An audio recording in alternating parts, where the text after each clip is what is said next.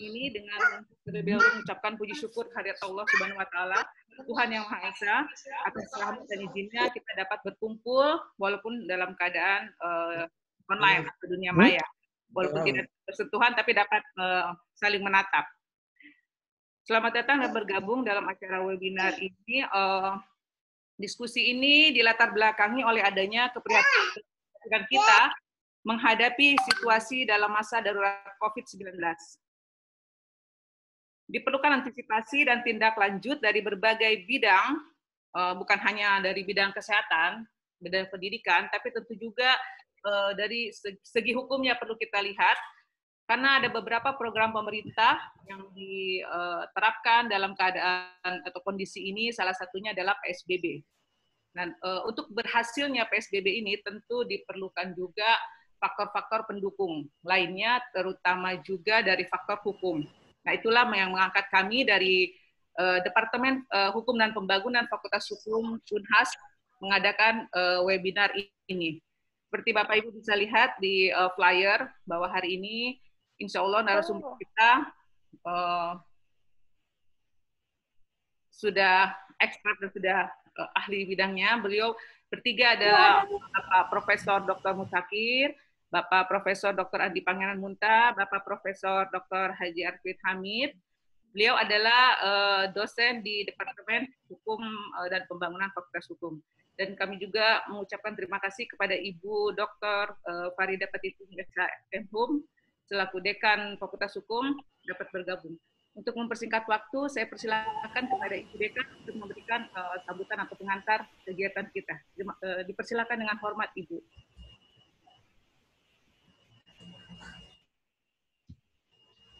Ya baik, terima kasih. Bismillahirrahmanirrahim. Assalamualaikum warahmatullahi wabarakatuh. Dan selamat siang. Alhamdulillah. Syukur kita panjatkan Allah SWT karena atas selamat dan hidayah sehingga kita diberikan kesehatan dan bisa bertemu pada forum yang luar biasa ini yang digagas oleh teman-teman dari Departemen Hukum Masyarakat dan Pembangunan. Untuk itu terima kasih kepada Ibu Ketua, Ibu Dr. Wiwi Heriani, eh, SMH dan Ibu Sekretaris Dr. Eh, Nana, Dokter Nawati. Ratnawati, ya Nana yang selalu diingat aja. Dan uh, tentunya seluruh narasumber kita yang semuanya berasal dari departemen yang sama, Departemen Hukum Masyarakat dan Pembangunan. Sudah sama kita kenal, reputasinya luar biasa. Yang mata pelajar Bapak Profesor Dr. Musakir, SMH, pakar sosiologi hukum kita, ya. Uh, dan juga yang mata pelajar Bapak Profesor Dr. Andi Pangeran Munta, SMH, uh, juga dari uh, departemen yang sama nanti akan berbicara juga terkait dengan ini dengan eksistensi sanksi ya dan pengaturan PSBB karena beliau memang lebih uh, uh, pada kepakarannya di hukum uh, tata negara, administrasi negara. Dan juga Al Mukarram Bapak Profesor Dr. Uh, Haji Arfin Hamid, SHMH, ya perspektif uh, yang lain khususnya yang terkait dengan keabsahan dan kekuatan mengikat fatwa ulama. Ya tentu karena kita mengenal beliau sebagai uh, apa namanya ustaz, ya selain guru besar Fakultas Hukum, uh, beliau lebih banyak kita kenal sebagai seorang ulama yang luar biasa. Ya saat ini menjabat sebagai sekretaris Majelis Ulama uh, Indonesia Selatan. Ya. Tentunya terima kasih semuanya dan saya lihat di uh, apa namanya di dalam peserta ini sudah ber, terus bertambah. Ini sekarang 322, 323 ini luar biasa. Tadi saya dengar uh, Pak WD3 mengatakan ada sekitar 700-an yang mendaftar. Ini luar biasa sehingga kita bisa menilai bahwa uh, tema dari webinar ini sangat menarik ya. Untuk itu tentunya saya mengucapkan terima kasih kepada seluruh peserta webinar yang datang dari seluruh Indonesia, yang hadir dari seluruh Indonesia, banyak alumni kita, banyak kolega kita, teman-teman kita. Alhamdulillah saya tidak bisa menyapa satu-satu. Terima kasih atas semua perhatian kita.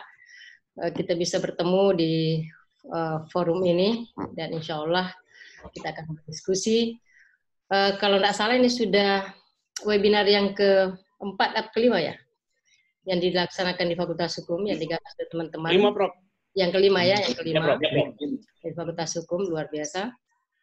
Tetap semangat di kegiatan uh, selama kita berada di rumah gitu. Alhamdulillah. Nah untuk itu sekali lagi atas nama pimpinan Fakultas Hukum, Universitas Hasanuddin, saya menyampaikan terima kasih dan penghargaan tinggi khususnya kepada Departemen uh, Hukum Masyarakat dan Pembangunan yang telah menggagas uh, webinar ini dan ini rasa-rasanya webinar yang paling banyak pesertanya ya, paling banyak pendaftar. Alhamdulillah. Uh, terima kasih sekali lagi, terima kasih moderator, uh, kita yang cantik ya. Tapi tadi dia foto anu dan dia dia uh, uh, reduksi uh, gelar saya satu ya. Nggak lupa Profda. Nah, dia lupa profnya, tapi nggak apa-apa. Itu iya, yang paling tinggi kan dokter kan. Iya. Profesor itu jabatan. Nggak guyon aja. Mungkin uh, karena pengaruh puasa barangkali ya. Oke, terima kasih eh, Dinda. Uh, sekali lagi khususnya kepada seluruh pembicara, narasumber kita. Terima kasih kakak aku semua.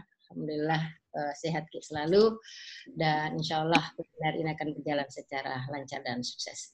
Saya kira itu barangkali yang dapat saya sampaikan. Dan setelah ini saya mohon pamit dulu sebentar untuk menguji pada jam yang sama, sementara sedang berlangsung uh, juga ujian di sebelah ini.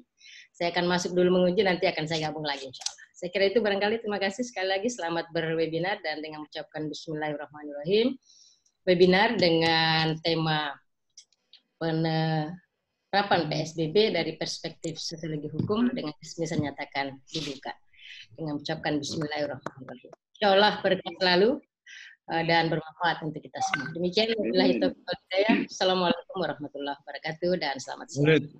Waalaikumsalam warahmatullahi wabarakatuh. Terima kasih, Prof. Assalamualaikum warahmatullahi wabarakatuh. Fakultas Hukum Ibu Profesor Dr. Faya Patiting SHM. Mohon maaf, Prof. Tadi keliru. Ya. Untuk mempersingkat waktu, kita masuk ke sesi selanjutnya, yaitu uh, pemaparan uh, makalah atau tema uh, oleh para narasumber. Insya Allah uh, sesi ini kita akan dibagi oleh jadi lima sesi. Yang pertama uh, pembukaan tadi oleh Ibu Dek sudah dilakukan. Kemudian pemaparan materi, kemudian akan dilanjutkan dengan sesi tanya jawab. Pemaparan materi kami uh, lakukan dengan cara uh, panel. Jadi ketiga narasumber akan memberikan uh, memaparkan materinya dulu, baru kita membuka sesi tanya jawab. Seperti disampaikan di awal tadi, sebetulnya saya tidak perlu memperkenalkan narasumber hari ini yang sudah sangat terkenal, tapi sebagai moderator tetap harus memperkenalkan. Narasumber yang pertama adalah hmm, Bapak Profesor Dr. Musafir SHMH yang akan membawakan materi berjudul Penegakan Hukum Terhadap PSBB dari Perspektif Sosiologi Hukum. Dan yang kedua, eh, materi kedua, Bapak Profesor Dr. Andi Pangeran Munta SHMH DFM dengan judul eh, materi eksistensi sanksi dalam pengaturan dan penerapan PSBB. Dan yang ketiga adalah Bapak Profesor Dr. Haji Arvin Hamid SHMH dengan eh, materi judul Keabsahan dan Kekuatan Mengikat Fatwa Ulama Cegah COVID-19. Untuk mempersingkat waktu, kami persilakan kepada para Bapak narasumber yang terhormat untuk memaparkan materinya. Uh, yang lain mohon di mute dulu, biar kita tidak saling mengganggu. Terima kasih. Siapa dulu yang pertama, Bu Tendi? Uh, Prof. Musakir dulu, Prof. Kira kita, Prof. Silakan, Prof. Baru okay. Prof. Pangeran, baru Prof. Arvin. Berapa waktunya? Uh, maksimal 15 menit ke materi narasumber, Prof. Baik, oke. Okay. Terima kasih, Prof. Bismillah. Assalamualaikum warahmatullahi wabarakatuh. Waalaikumsalam warahmatullahi wabarakatuh. Waalaikumsalam warahmatullahi wabarakatuh. sekalipun sementara menguji dan para pimpinan fakultas uh, pimpinan departemen khususnya Departemen Hukum Masyarakat dan Pembangunan Kemudian uh, para panelis yang amat terpelajar, Bapak Profesor Dr. Munta dan Al Bapak Profesor Dr. Arvin Hamid yang biasa saya panggil Pak Kiai. Dan seluruh peserta webinar pada yang hari ini yang saya banggakan dan saya muliakan. Alhamdulillahirrahmanirrahim. Saya kira itu adalah oh, ya? tanda syukur kita kepada Allah Subhanahu wa taala karena pada kesempatan yang berbahagia ini kita bisa dipertemukan sekalipun dalam suasana COVID-19, kita dipertemukan dalam uh, situasi yang seperti ini. Tapi alhamdulillah saya pikir ini tidak akan mengurangi uh, makna dari apa yang akan kita bahas pada kesempatan ini.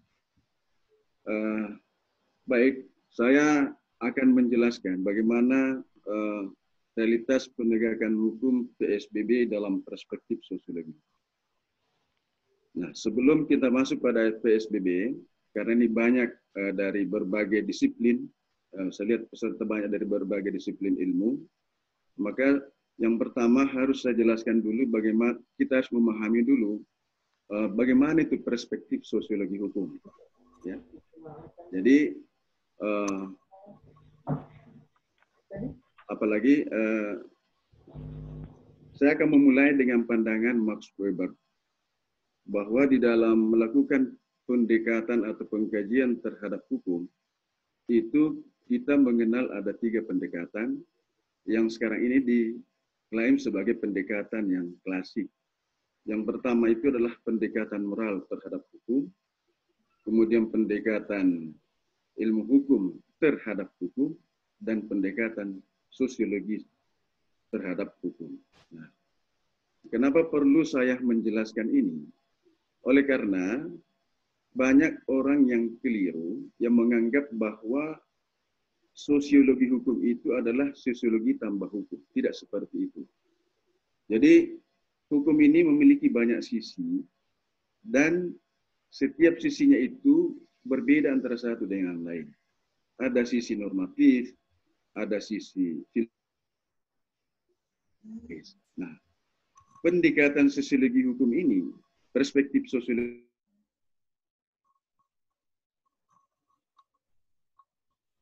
Prof, terputus berarti Prof. Oke, halo. Ya. Halo, tadi sempat terputus Prof. Ya, silakan Prof lanjut. Oke, ya. Saya ulangi.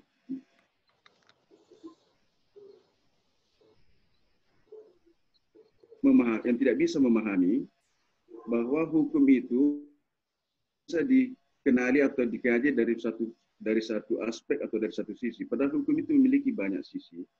Dia memiliki sisi normatif, sisi empiris, dalam oleh oleh Mas Weber bahwa hukum ini dapat dilakukan pengkajian terhadap tiga pendekatan. Nah dari tiga sisi ini memiliki pendekatan yang berbeda. Dalam kaitan dengan pembahasan kita pada kesempatan ini, bagaimana jelaskan bahwa uh, pelaksanaan PBS, PSBB dalam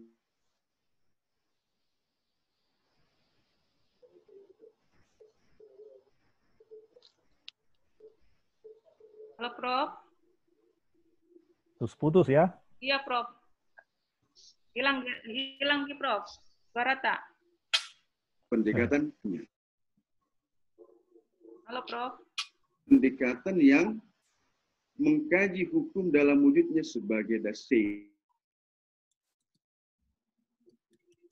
Assalamualaikum Prof. Jaringannya hilang-hilang ke Prof. Halo? Ya, ya, sempat terputus tadi Prof. Ya. Oke, saya lanjut ya. Ya, silakan Prof. Ya. Nah, jadi pendekatan sosiologi hukum Barangkali Prof bisa bergeser barangkali cari tempat yang agak ini. Halo? Ya, bisa bergeser sedikit posisi Prof. Siapa tahu signal di situ yang kurang ini. Karena di sini kita dengarnya bagus sekali. Ya. Ya. Oke, sudah bagus? Ya, sudah Prof. Oke ya. ya. Saya lanjutkan. Nah, jadi dalam pendekatan sosiologi hukum terhadap penegakan hukum PSBB ini, itu tidak melihat bagaimana eh, substansi hukum PSBB itu dalam secara normatif. Tetap menegakkan hukum dalam PSBB. Pemikiran kita tentang perspektif sosiologi hukum kita harus apalagi namanya kita harus uh, pindahkan dulu dari pemikiran normatif ke dalam lagi memiliki justifikasi, memiliki penilaian apakah tindakan itu benar atau salah. Kalau pendekatan sosiologi hukum itu tidak menjustifikasi, tetapi dia mendeskripsi yang benar. Kalau tidak benar, dia akan gambarkan tidak benar. Kira-kira seperti itu. Jadi Nah, ini yang perlu kita pahami bersama supaya tidak memiliki persepsi yang berbeda tentang uh, pendekatan dalam sosiologi. Sekarang kita masuk uh, pada bagaimana penerapan PSBB. Ya, uh, yang pertama kita harus lihat bahwa di dalam penegakan hukum itu ada berbagai unsur yang terlibat di dalamnya. Ada berbagai unsur yang sekaligus sebagai faktor yang bisa memper, yang bisa membuat efektif dan sekaligus bisa membuat tidak efektif. Beberapa pendapat, baik dari pendapatnya Friedman maupun pendapatnya Profesor Firus, pendapatnya Profesor Ahmad Ali. Bahwa yang terlibat dalam penegakan hukum itu yang pertama adalah substansi hukumnya sendiri. Yang kedua adalah manusianya. Yang ketiga adalah sarana dan prasarana di mana hukum itu diberlakukan. Nah sekarang kita lihat PSBB. Tujuan hukum dari PSBB adalah merupakan salah satu cara untuk memutus penyebaran COVID-19, COVID-19 dari PSBB. Dengan substansinya, ah, mulai dari pembatasan transportasi umum dan pribadi, ya, pembatasan ah, kemudian ah, mana kegiatan yang yang dilarang, mana sektor yang yang bisa beroperasi dan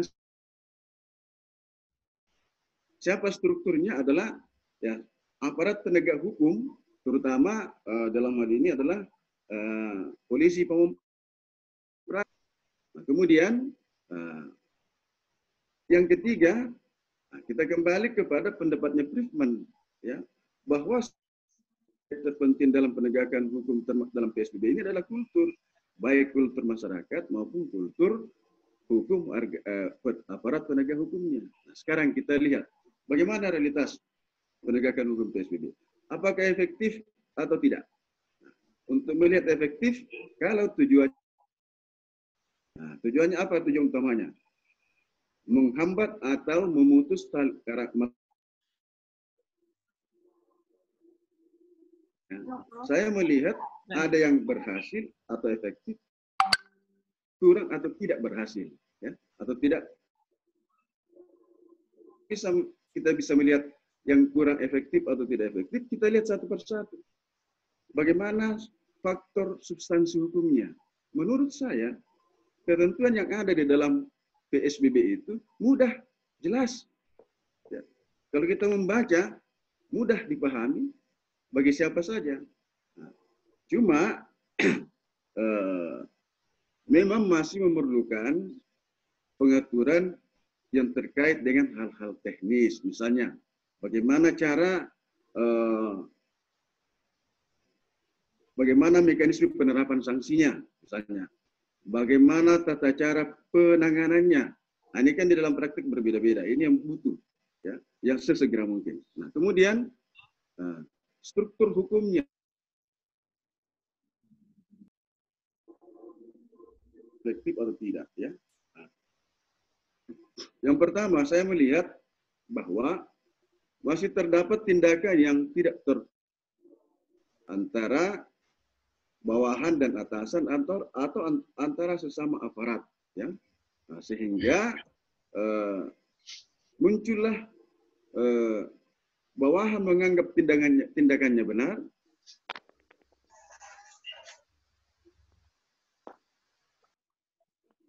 Halo Prof. Baik, Prof. Ya, halo. Hilang lagi, sempat hilang tadi suaranya, Prof. Sekarang sudah ada? Ya, sudah ada. Oke. Yang kedua, Ya, kita juga tidak bisa melihat penerapan sim sim salabin. Ini hal yang baru, ya. Nah, kemudian yang kedua adalah keterbatasan SDM. Saya kasih contoh, wilayah Makassar, berapa luas wilayah Makassar? Kemudian penduduk kurang lebih 1,5 Berapa jumlah polisi yang harus menjaga setiap wilayah? Tidak mungkinlah bisa menangani itu secara keseluruhan. Oleh karena itu hanya titik-titik tertentu. Makanya kita masih melihat ada beberapa tempat di Makassar ini yang ya boleh dikatakan petugas karena memang tidak cukup. Kemudian uh, saya juga melihat ada beban mental yang dapat melampaui batas secara manusiawi bagi aparat. Yang seharusnya misalnya bertugas aparat bertugas 24 jam. Ini kan melampaui beban mental. Kemudian eh, keterbatasan sarana. Ya. Kita lihat beberapa aparat kita kasihan itu ya, tidak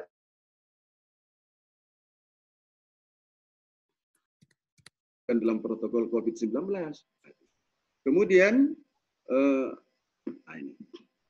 saya belum melihat di Makassar ya, saya tidak, eh, kalau di tempat lain sudah ada.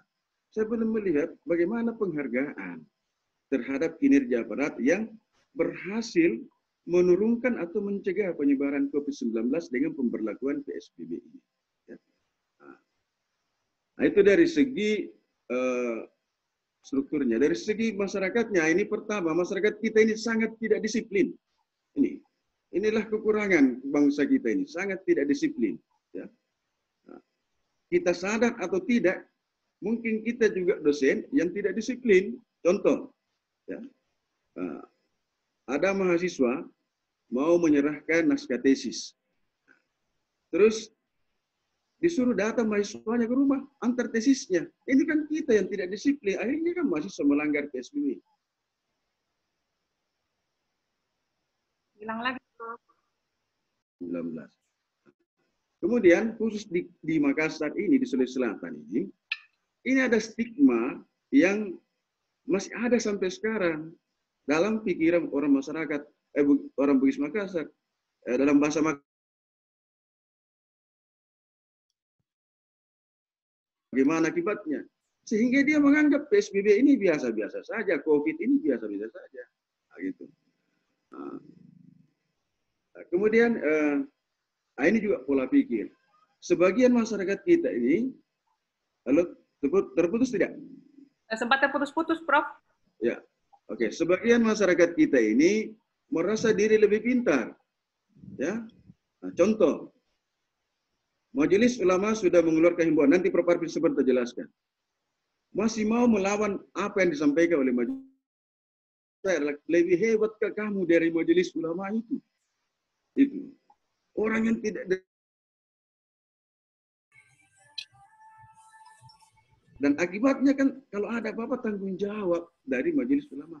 Ini ada orang yang masih merasa lebih hebat dari majelis ulama. Saya kira itu beberapa poin-poin penting uh, Eh, nanti kita lanjutkan pada eh, diskusi kita. Ada beberapa solusi yang saya sudah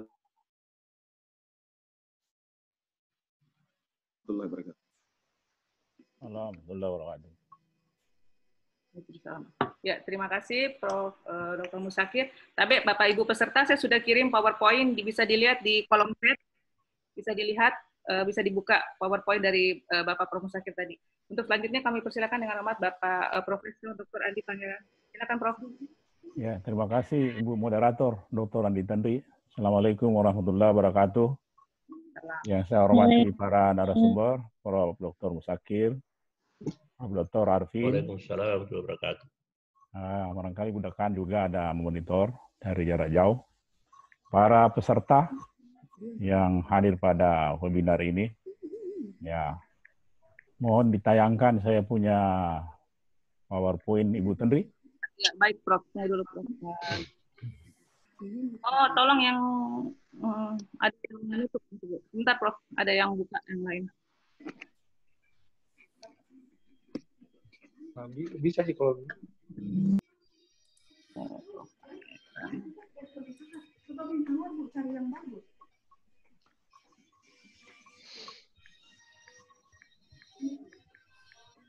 Ya. Om bagian ini. Nah, ini judul yang saya coba-coba bahas itu lebih spesifik di sanksi saja ya. Tapi latar belakang saya bahas ini, ambil judul ini. Yang pertama dulu ada diskusi di media sosial bahwa apakah peraturan di tingkat Pemda itu termasuk Perda atau peraturan wali kota bisa membuat sanksi. Nah, ternyata ya ini perlu kita sosialisasi yang kelap nggak mau di situ. Halo? Tolong yang Bapak Ibu tolong di mute dulu suaranya tolong Pak. Ya, terima kasih. Silakan lanjut Prof. Ya, jadi latar belakang itu sehingga saya pilih ini masalah sanksinya. Apalagi memang eh, di berbagai daerah itu sanksi-sanksi tingkat bawah itu tidak seragam antara DKI dengan Makassar itu beda-beda. Nah ini menarik dikaji. Yang kedua juga nanti saya berusaha mencoba uh, jenis-jenis sanksi apa saja yang dimuat dalam PSBB tersebut, baik antara Jakarta, DKI maupun di Kota Makassar. Saya bandingkan dua itu ya. Kemudian yang ketiga, pada akhirnya nanti saya mencoba juga melihat apa kira-kira kendala-kendala yang di apa yang menghadang dalam pelaksanaan PSBB ini. Baik, kita lanjut. Nah, jadi uh, khusus ini ya saya kira ini pelajaran umum bagi kita masalah sanksi dari mana ya. Itu dari bahasa Belanda yang artinya hukuman. Kemudian dari KBBI, ya sanksi itu tidak lain adalah tindakan-tindakan menghukum seseorang untuk memaksa menaati aturan atau menaati ketentuan yang berlaku. Kemudian juga saya kutip di sini sementara Pak Subekti, ya sama juga dari KBBI dan Simorangkir bahwa sanksi itu adalah tindakan di mana seseorang dipaksa untuk taat pada hukum ya. Terus ini sekilas saja karena ini hanya intro-intro saja. Kemudian eksistensi sanksi di dalam norma hukum. Nah, ini mungkin ada teoritis sedikit. Ternyata masalah sanksi itu dalam hukum memang tidak seragam pendapatnya para ahli. Ada dua, tergantung dari aliran-alirannya atau masabnya. Saya kutip di sini satu mashab yaitu kaum positifis ya. Ya, justru kaum positifis ini menganggap sanksi itu adalah bagian penting dari norma atau hukum itu sendiri. Tidak bisa dipisahkan, bukan sanksi itu sebagai subjek tambahan. Tapi dia bagian. Artinya kalau tidak ada hukumnya, tidak ada sanksinya sebuah norma, sebuah hukum itu bukan hukum, ya. Ya, di sini saya ambil satu wakil dari positifis yaitu har ya menyatakan bahwa sanksi itu sebagai sesuatu yang memang melekat di dalam hukum itu sendiri. Nah, itu ya. Kemudian terus slide berikut. Nah, sebagai lawan dari paham positifis tadi itu saya coba angkat dari Panapol Doran. Justru ini sebaliknya, dia menyatakan bahwa sanksi itu bukan hal substansial dalam hukum malah dia merupakan tambahan saja ya nah, malah dia menyatakan bahwa kalau sanksi itu diletakkan pada hukum itu kontradiktif dengan hukum itu sendiri ya nah, Apel Doran juga menyatakan bahwa uh, saya ya, menyatakan bahwa dalam uh, apa hukum suatu negara dalam banyak hal merupakan penuangan asas-asas dan norma-norma agama, moral, sosial yang didukung kesadaran masyarakat. Menurut pemahaman saya, apa yang dipahami oleh Pak Doran ini, ini adalah paham yang seperti kita tahu bersama yang pernah berkembang di abad 18, waktu negara kesejahteraan klasik ya, atau biasa juga disebut negara hukum formal, di mana masyarakat itu Eh, negara tidak banyak mengurusi, diberikan kebebasan masyarakat mengurus dirinya sendiri, urusan-urusan yang pribadi. Nah, saya sependapat dengan kompositifis betapa pentingnya itu sanksi dilekatkan dalam norma-norma hukum. Apalagi kita di era yang memasuki ini apa modern welfare state, negara hukum material ya, di mana negara itu mengurusi, mencampuri secara aktif berbagai kepentingan masyarakat dalam rangka untuk mewujudkan sejahteraannya. Nah, betapa tidak efektifnya kira-kira hukum itu kalau sanksi itu tidak melekat sebagai bagian penting dari norma itu, apalagi di negara yang menganut uh, welfare state seperti Indonesia sekarang ini. Terus, ya, nah menurut pemahaman saya setelah membaca berbagai sumber-sumber bacaan, dalam hukum Indonesia ini sanksi itu sangat penting, sangat urgen. Yang pertama, ya hal sangat penting untuk penegakan norma. Ya, kalau siasat aturan tidak ada normanya, ya bahaya itu susah ditegakkan. Ini saya ada kutip di sini pandangan Blackstone. saya kutip dari bukunya Robert Sidman ya yang berjudul buku itu Legislative Drafting uh, for uh, Democratic Social Change ya di halaman 103. Nah, di situ uh, Blackstone menyatakan no sanction no law artinya kalau sesuatu norma sebuah hukum tidak ada sanksi nah, maka itu bukan hukum. Nah, jadi yang kedua uh, sebagai sarana pendidikan bagi warga atau masyarakat luas. Ya. Kemudian bagi yang pelanggarnya yang masuk penjara ya efek jerah. Kemudian yang berikut lagi uh, urgensi sanksi dalam sistem hukum Indonesia, yaitu sanksi itu menjadi tanda bahwa Indonesia itu punya pemerintah yang berdaulat, ya yang bisa memaksakan paksaan apabila ada aturan-aturan yang dilanggar. Terus Ya, saya masuk di uh, undang-undangnya yang nanti itu mengatur masalah PSBB. Di dalam Undang-Undang 618 ini tentang kekarantinaan kesehatan, di situ sudah diberikan definisi operasional apa itu PSBB ya, yaitu pembatasan kegiatan tertentu penduduk dalam wilayah yang diduga terinfeksi penyakit atau terkontaminasi sedemikian rupa untuk mencegah kemungkinan penyebaran penyakit atau kontaminasi. Kemudian di dalam 2120 itu uh, sebagai pelaksanaan dari Undang-Undang 16 2018 itu dipertegas lagi. Hanya batasan sosial berskala besar di dalam rangka percepatan penanganan uh, apa COVID ya, COVID-19 ini. Jadi judul apa? Ada definisi dalam yang kantor Undang 1 2020 ini. Ya merujuk ke Undang-Undang 6 2018 tadi. Cuma lebih spesifik ke COVID-19. Terus, nah ini uh, membahas tadi PP tadi ya, uh, dia memberi uraian lebih jauh mengenai apa-apa saja yang menjadi uh, uh, tentang uh, PSBB tersebut. Di sini di pasal 59 alas ayat 1 dipertegas bahwa PSBB itu respon ya respon pemerintah atau penguasa bahwa terjadi memang kedaruratan kesehatan masyarakat. Apa tujuan dari PSBB ini? Ya, kita sudah tahu semua di dalam pasal 59 ayat 2 ini, tujuan pokoknya adalah mencegah meluasnya penyebaran penyakit, kedaruratan kesehatan masyarakat yang sedang terjadi antar orang di suatu wilayah tertentu. Nah, ketentuan lebih lanjut ini diatur dengan peraturan pemerintah. Terus, Bu Henry? Siap, Prof. Ya, kalau pembatasan sosial berskala besar ini ya sudah ada rujukannya di ayat 3 tadi. Minimal peliburan sekolah dan tempat kerja yang mungkin kantor-kantor dimaksud. Uh, pembatasan kegiatan keagamaan, termasuk uh, kegiatan tempat atau fasilitas-fasilitas umum. Nah, kemudian penyelenggaraan pembatasan sosial apa PSBB ini ya tentu banyak instansi yang terlibat sehingga dibutuhkan kerjasama berbagai pihak sesuai dengan kewenangannya masing-masing diatur dalam peraturan perundang-undangan. Terus, nah, nah, judul saya yang diberikan adalah masalah sanksi. Saya ingin kaji lebih dalam masalah sanksi ini.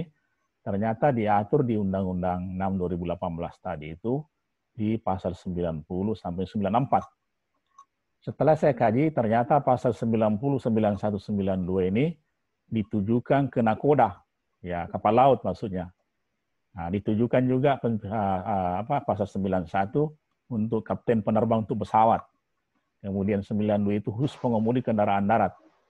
Apa larangannya di situ? Yaitu tidak boleh apa baik berupa barang maupun penumpang itu di, di drop tanpa persetujuan dari apa unit yang ditugaskan di mana barang atau orang itu kira-kira bisa menyebarkan penyakit.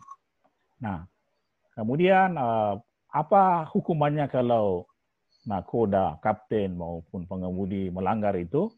Yaitu dijanjar itu maksimal 10 tahun atau denda paling banyak 100 miliar. Kalau pasal 94 ditujukan kepada korporasi ya, organisasi atau perusahaan yang melakukan pelanggaran. Nah, eh, hukumannya malah berat lagi di samping tadi yang 10 tahun itu tambah 10 miliar, ada tambahan pemberatan itu dua per tiga daripada pokok dan uh, denda tadi. Khusus 93 itu mengatur perorangan, yaitu setiap orang yang tidak mematuhi penyelenggaraan kekarantinaan kesehatan, ya, atau menghalang-halangi penyelenggaraan kekarantinaan kesehatan yang wujudnya itu PSBB, nah, itu bisa dipidana paling lama satu tahun dan atau pidana denda 100 juta. Terus Nah, sekarang barangkali kita sudah masuk di peraturan pemerintah nomor 2120 tentang PSBB ini. Terus di mana nah, di dalam uh, PP ini terus terus Bu. Ditandai terus. Ya. Isinya ini adalah uh, ada kewenangan yang diberikan ke Kementerian Kesehatan untuk memberikan persetujuan terhadap daerah atau wilayah-wilayah tertentu yang mau menerapkan PSBB Nah, tentu ada syarat-syaratnya di sini. Terus, ya sama tadi. Ya terus, ya khusus untuk Makassar setelah mengusulkan PSBB, nah, ternyata ada persetujuan dari Menteri Kesehatan itu 16 April, ya nah, 2020. 16 April, padahal kasusnya ini ya, mulai Februari sudah mulai ada yang meninggal jadi Maret, April itu dua bulan baru turun. Terus nanti kita bahas lebih lagi, lebih lagi. Terus untuk perwali 22 2020 ini yang PSBB di Makassar, nah kita karena saya fokus di sanksinya, ya pertama itu membubarkan orang yang berkumpul. Ya. Yang kedua tempat-tempat usaha ditutup. Ya. Kemudian ketiga memberhentikan kendaraan kapal penyeberangan, ya kendaraan roda dua atau lebih, dan memaksa menurunkan penumpang yang melebihi ketentuan PSBB. Misalnya, kan ketentuan itu 50 eh, persen, yang tadinya 8 misalnya daya muat itu kendaraan, nah, dalam 4 saja. Nah, kalau lebih itu diturunkan penumpangnya. Kemudian memberhentikan orang yang beraktivitas tidak menggunakan masker untuk selanjutnya dilakukan, dilakukan pembinaan. Jadi ini ada empat poin ditambah sanksi-sanksi pidana yang dituangkan dari dalam Undang-Undang 6 2018 tadi. Ya, seperti diatur dalam ayat 2 dan ayat 3 ini. Terus. Nah, kemudian setelah saya menganalisis ketentuan sanksi di dalam Undang-Undang 6 2018 ini, khususnya pasal 90 sampai 94, ternyata memang tidak ada itu sanksi administrasi. Semuanya itu adalah uh, sanksi pidana, yaitu penjara maksimal 10 tahun atau denda maksimal 15 miliar bagi nakoda, kapten penerbang maupun pengemudi yang menyebabkan terjadinya kedaruratan kesehatan masyarakat. Jika pelanggaran dilakukan oleh perorangan yang menyebabkan terjadinya kedaruratan kesehatan, ya pidananya itu maksimal satu tahun dan uh, 100 juta rupiah. Jika dilakukan oleh korporasi, ya pidananya tadi pidana pokok dan dandanya seperti tadi, ditambah uh, pidana pemberatan dua per 3 lagi. Terus, ya memperhatikan keseluruhan sanksi yang diatur dalam Undang-Undang 6, ya maupun perwali dari Makassar tadi, ya semuanya tidak mengatur sanksi administrasi ya. Misalnya pencawa, sehingga pencabutan izin usaha itu tidak hati bertentangan dengan Undang-Undang 6 2020 dan uh, uh, 6 2018 maksudnya ya dan Perwali 22 2020. Uh, ada fenomena kita lihat di Makassar ya melalui medsos ya ada toko-toko itu uh, apa ya uh, disemprot ya menggunakan pemadam kebakaran ya. Nah itu sebetulnya tidak diatur dalam perwali itu karena itu tidak merupakan sanksi. Kemudian uh, uh, toko-toko, restoran, warung makan dan sejenisnya, ya yang sifatnya perorangan yang melanggar ketentuan PSBB itu, ya dapat diterapkan upaya paksa. Misalnya dipaksa ditutup. Terus, ya saya bandingkan dengan PSBB di DKI. Kalau DKI itu uh, apa uh, diatur di dalam uh, peraturan Gubernur DKI tahun 41 eh. nomor 41 tahun 2020. Ya. Nah, di sana hanya diatur tiga jenis sanksi. Kalau dari Makassar itu ada empat. Yang pertama itu sanksi administrasi, yaitu denda paling sedikit. Sebetulnya ini bukan sanksi administratif, sanksi pidana ini ya. Jadi salah tulis barangkali ini. Atau di bagian hukumnya di sana itu sulit membedakan pidana administrasi dengan sanksi pidana. Jadi kalau denda itu 100 juta itu berarti pidana. Ya 100 juta atau maksimal 250 juta. Kemudian ah, ini lain dibandingkan Makassar tadi. Ya, ini ada kerja sosial berupa membersihkan sarana fasilitas umum dengan mengenakan rompi. Nah itu ya, lain ini di, di, uh, di KI. Kalau yang ketiga yaitu penderekan kendaraan ke tempat penyimpanan kendaraan yang ah, bermotor apabila dia melanggar. Terus, ah ini terus saja ini ya detail dari bagaimana kalau penderekan. Bagaimana efektivitas PSBB di Makassar? Ya, saya mencoba menggunakan berbagai uh, alat analisis dari Surun Sukanto, Secipto, uh, Friedman, dan gabung dengan Robert Setman. Ternyata kendala-kendala yang dihadapi dalam mengefektifkan pelaksanaan PSBB, faktor hukum itu sendiri. Apa yang terjadi di sana, yaitu regulasi, regulasi teknisnya itu terlambat. PP dan Perwali itu ya terlambat sekali ini menurut data yang kita terima. Uh, itu atau virus corona itu sudah ada di Indonesia bulan Januari. Itu menurut pengamatan dari Fakultas Kesehatan Masyarakat UI. Minggu ketiga Januari itu sudah ada di, di Indonesia. Nah, ini peraturan PSBB ini baru keluar April semua. Jadi rentang waktunya hampir dua bulan atau sekitar dua bulan. Nah, berapa banyak orang mati itu baru keluar itu ya. Jadi uh, di sinilah uh, regulasinya lambat secara teknis. Sarana ya memang ya bukan rahasia lagi APD ya, alat pelindung diri, hand sanitizer, masker dan sebagainya itu sangat terbatas. Bahkan yang juga menghambat PSBB itu ya memang vaksin dan obat itu belum ada ya menyebabkan banyak korban. Faktor aparat. Nah, ini kita lihat antara pemerintah pusat dan daerah itu ya tidak ter, terkoordinasi dengan baik. Ya. Begitu pula antar unit-unit di secara horizontal ya, itu juga belum terkoordinasi. Tapi saya maklum ini karena tiba-tiba saja ini COVID datang. Tidak ada semacam pelatihan workshop sebelum datang. Tiba-tiba datang dan banyak orang mati. Kemudian faktor masyarakat. Ya, seperti tadi Prof. Musakir singgung itu ya kedisiplin masyarakat kita itu kurang bagus ya. Ya, apalagi ya faktor interest ini yang sangat mengganggu sekali, artinya sangat dikejar masyarakat. Tiba-tiba disuruh berhenti beraktivitas, sementara itu urusan perut. Nah, sehingga memang agak sulit ini antara ekonomi dengan uh, penyakit. Kemudian faktor budaya. Nah, ini karena hal baru ya kita punya karakteristik di Indonesia itu ya sebagai budaya ketimuran, gotong royong, selalu kumpul-kumpul di kafe dan lain-lain sebagainya. Sementara COVID ini tidak menghendaki karena bisa lebih berbahaya. Kemudian faktor ideologi, keyakinan ini dari uh, Robert Shetman, ambil. Uh, terbiasa sholat berjemaah ini ya nanti Pro Arpi ini menjabarkan untuk Jabariyah. Yang penting keimanan itu ya ada perlindungan kalau kita uh, berjemaah. Kira-kira seperti itulah. Tapi kurang mengandalkan misalnya logika atau penalaran. Kemudian faktor proses. Ini ya tadi saya sudah singgung ya tiba-tiba datang COVID-nya sehingga ya ada beberapa proses tidak jalan. Misalnya sosialisasi, internalisasi, dan sebagainya itu tidak jalan sehingga itu juga mempengaruhi efektivitas PSBB bukan hanya di Makassar, bahkan seluruh Indonesia.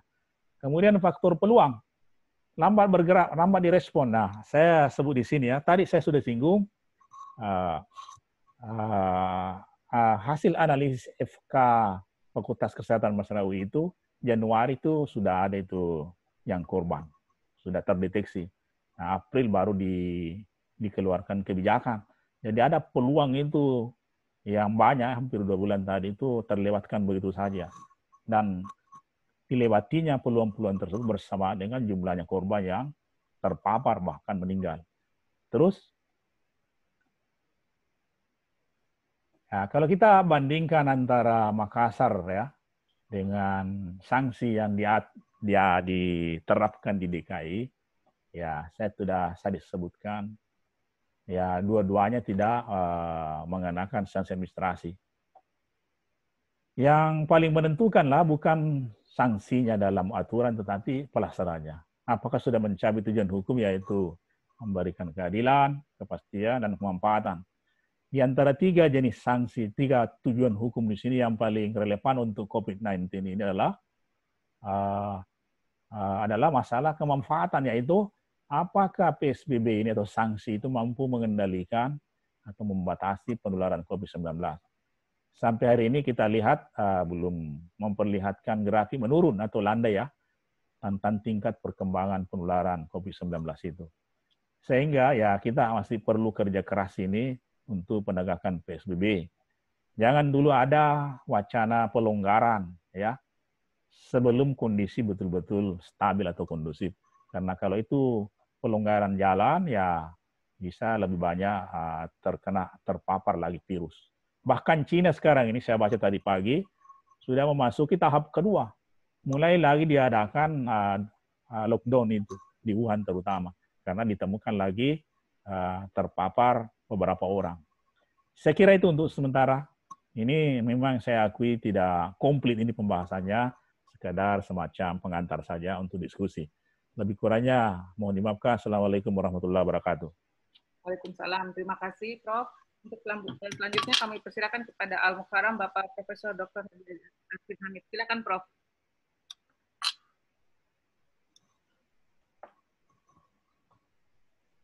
Prof. Arvin, silakan. Assalamualaikum warahmatullahi wabarakatuh. Waalaikumsalam.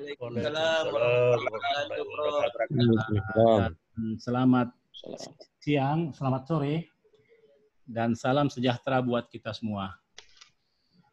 Alhamdulillah kita semua dirahmati oleh Allah. Uh, maaf, maaf, maaf Ibu, slide-nya. Ya, siap, Prof. Ya, ya. Nah, Alhamdulillah wabihi nasta'inu ala umur dunya waddin wa ala alihi ajmain amma ba'd. Uh, semoga amal ibadah kita, kerja-kerja kita selama bulan Ramadan ini diterima baik oleh Allah Subhanahu wa taala. Amin. Alamin. Uh, Ibu Dekan, Prof. Musakir, Prof. Uh, Andi Pangerang, sebenarnya sumber, Andi Operator, dan segenap eh, peserta, baik teman saya, kolega saya, guru saya, di seluruh Indonesia. Tadi ada yang dari dari Riau me, me, me, me, apa, uh, memberi isyarat dari Papua dan seluruh mahasiswa saya dan mahasiswanya juga Prof. Musakir dan Prof. Andi Pangerang. Selamat bergabung pada uh, webinar webinar ini. Uh, uh, ini karena ini apa namanya menarik sekali. Saya saya agak bingung mulai dari mana gitu. Lanjut bu, ya. uh, jadi uh, dari perspektif hukum Islam ada prinsip yang harus kita pahami bersama. Yang pertama, hukum itu ada sesuai dengan keadaannya. Hukum itu ada sesuai dengan motifnya atau ilatnya. Ya. Al-hukmu yaduru ma'illatihi wujudan wa adaman. Hukum itu ada manakala ada motifnya, ada ilatnya. Ya. Dan hukum itu tidak ada jika tidak ada motifnya, tidak ada ilatnya gitu. Nah, sekarang Indonesia dalam keadaan normal. Sehat walafiat dari Sabang sampai Merauke. Bebas bekerja, bebas berapa saja. Dalam situasi normal sekali. Tiba-tiba keluar Kepres nomor 11 yang menyatakan kedaruratan eh, COVID-19 di seluruh Indonesia. Ya, berarti Indonesia dalam keadaan darurat. Ya, langsung dengan putusnya tanggal 31 itu, tanggal 32 eh tanggal 1 eh 31 tanggal 2 itu langsung berubah situasi di Indonesia secara hukum. Karena ada namanya wilayatul hukmi dalam hukum Islam. Berarti yang tadinya normal menjadi darurat. Nah, Walaupun kita lihat di masjid masih ramai-ramai, di pasar tidak ada apa-apa, mana itu la corona, mana itu la covid, tidak ada kelihatan. Tapi secara hukum mengatakan Indonesia sudah dalam keadaan darurat. Berarti ada ilat hukumnya, ada alasan hukumnya Indonesia sudah darurat sekarang. Yang kedua PP 21 dalam rangka tentang apa namanya eh, tentang PSBB, PSBB. Nah, PSBB. Jadi di seluruh Indonesia dipandang dalam keadaan harus dibatasi. Meskipun secara operasionalnya nanti ada Kemenkes yang menentukan PSBB-nya tiap wilayah. Tapi dua ketentuan ini menunjukkan bahwa Indonesia dalam keadaan darurat dalam perspektif hukum Islam. Ditambah fatwa MUI nomor 13, 15, 16, 17, ada enam fatwa MUI yang terkait dengan masa darurat ini. Artinya apa? Jadi hukum yang tadinya normal, ya sebelum eh, sebelum eh, eh, kedaulatan ini itu sudah berubah menjadi ya keadaan menjadi hukum yang yang tidak boleh lagi diperlakukan secara normal karena darurat. Famanitur bagin wala adin fala isma alai. Jika dalam keadaan darurat, ya makanan yang tadinya diharamkan menjadi boleh dilakukan karena sangat darurat. Itu yang pertama Bapak Ibu sekalian. Karena kalau ada bertanya apa hubungannya hukum Islam dengan COVID, apa hubungannya hukum Islam dengan PSBB, PSBB dan lain-lain. Justru saya lihat lebih susah mengurus umat Islam daripada eh, apa namanya eh, pasien virus corona. Ya, Bapak saksikan sendiri. Ya, eh, antara pengurus masjid dengan dengan jamaah bertengkar, bahkan ada yang curi-curi. Petugas masjid pergi lewat belakang itu masjid pergi jamaah dan lain-lain. Sebentar kita lihat. Ya, jadi itu poin pertama bahwa Indonesia dalam keadaan darurat. Maka hukum Islam juga menyikapinya uh, dalam keadaan darurat. Eh, di sebelah Pak Ibu. Ya, eh, slide yang kedua. Nah. Makna kedaruratan ini saya kira para ahli, eh, banyak yang hadir saya ahli hukum Islam, ya tidak masalah, bisa dipahami. Dar, eh, yudar, daran, daruratan, itu artinya dalam keadaan bahaya, dalam keadaan tidak normal yang mengancam. Ya, ulama Malikiyah misalnya memahami darurat itu sebagai kekhawatiran akan binasanya jiwa, baik pasti maupun dalam perkiraan seperti sekarang. Diperkirakan COVID itu berbahaya, kenyataannya kan baru sekian persen, tapi karena bahayanya ya itu, menurut Malikiyah sekarang sudah darurat. Wahab Az-Zuhaili misalnya darurat adalah datangnya kondisi bahaya dan kesulitan yang amat berat bagi diri manusia yang dikhawatirkan terjadi dorar yang berbahaya bagi jiwa, tubuh, akal, kehormatan, harta dan yang segala yang yang terkait. Jadi darurat ini Bapak Ibu sekalian, eh, inilah yang eh, menjadi patokan munculnya fatwa-fatwa. Munculnya pandangan-pandangan. Munculnya himbauan-himbauan. Munculnya tausiah-tausiah. Nah, yang secara umum itu kelihatannya agak membingungkan Ya, yang mana yang mau diikuti? Oke, slide sebelah. Lanjut slide-nya, Ibu Kendri.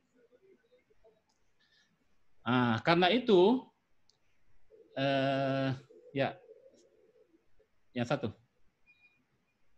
Ya, kriteria darurat menurut syariah. Ya, saya pikir eh, kalau kita berpatokan sebelumnya tadi, eh, apa kriterianya? Ya, karena itu berbahaya. Ya, merupakan eh, sesuatu yang harus dilakukan untuk penyelamatan diri, harta dan seterusnya. Tidak berhubungan dengan maksiat. Nah, jadi jangan sampai maksiat karena di era perjudian misalnya ada perkahwinan langsung darurat, perlukan hukum. Padahal karena di tempat perjudian, tempat apa itu biasa itu ada kerusuhan di situ, bukan itu yang dimaksud. Biarkan aja begitu. Satu-satunya jalan untuk menghilangkan bahaya ya eh, bahaya kesehatan. Ayatnya bagai bagi wala adin fala. Ya, ada kemudahan. Jika eh, darurat itu terjadi, maka ada kemudahan, ada rukhsah. Hanya digunakan dalam kondisi eh, seadanya saja. Ya, jangan berlebih-lebihan itu, jangan dimudahkan sekali. Ya, dilihat sampai kapan, sampai normalnya. Jangan juga terlalu dimudah-mudahkan. Yuridullah bikumul yusra wa la yuridu bikumul usar. Kemudian kerusakan yang ditimbulkan dari suatu perbuatan, ya jika perbuatan itu dilakukan lebih berbahaya. Darul mafasid muqaddamun ala jalbil masalih. Menolak mudarat lebih dahulukan daripada eh, mencari pahala. Mencari apa? manfaat. Ya, misalnya sholat jamaah, ya mengejar pahala. Ya, itu tidak boleh. Harus didahulukan, jangan berjamaah. Karena mudaratnya lebih besar. Itu prinsip hukuman. Menolak mudarat harus didahulukan daripada menarik manfaat. Di sebelah lagi, Bu. Ah, apa akibat hukum darurah? Nah, kalau kita langsung kaitkan COVID-19, yang pertama, darurahnya itu karena mengancam jiwa, bahaya, mematikan. Ya, dalam istilah eh, dalam kehidupan Islam namanya taun. Rasulullah sudah mengajarkan kita bagaimana menghadapi taun. Taun itu adalah wabah, pandemik. Ya, jadi eh, taun eh, COVID-19. Ya, itu wajib dihadapi dalam eh, keadaan darurat. Kedua, eh, harus dipahami karakter yang membahayakan itu. Ya, sifat dan karakter COVID itu bagaimana? Nah, kita tidak boleh sembarang juga. Bahaya-bahaya, tapi apa bahayanya? Nah, nanti kita jelaskan apa itulah di situlah fungsinya fatwa. Betulkah yang farfa itu kompeten atau tidak? Ya, misalnya hidup sehat, jaga jaga jarak, pakai pelindung, tidak menyentuh dan lain-lain. Itu harus dan itu harus benar. Ya, sesuai dengan tuntutan darurat. Kemudian salah satu yang terpenting cegah to'un COVID itu adalah tidak berkumpul berjamaah. Sementara pada satu sisi berjamaah dalam Islam itu sesuatu yang sangat urgen, sesuatu yang sangat dianjurkan, bahkan mendekati wajib, sunnah muakkadah. Iya. Kenapa? Nah, nah, tiba-tiba dilarang.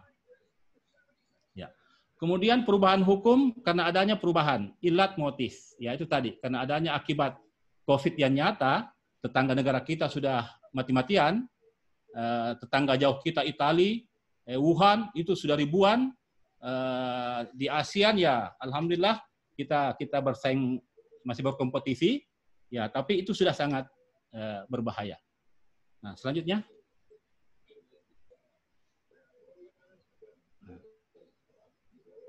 Sekarang, apa apa yang menjadi eh, alasan, apa yang menjadi pertimbangan terjadinya perubahan hukum? Yang sebelah Bu.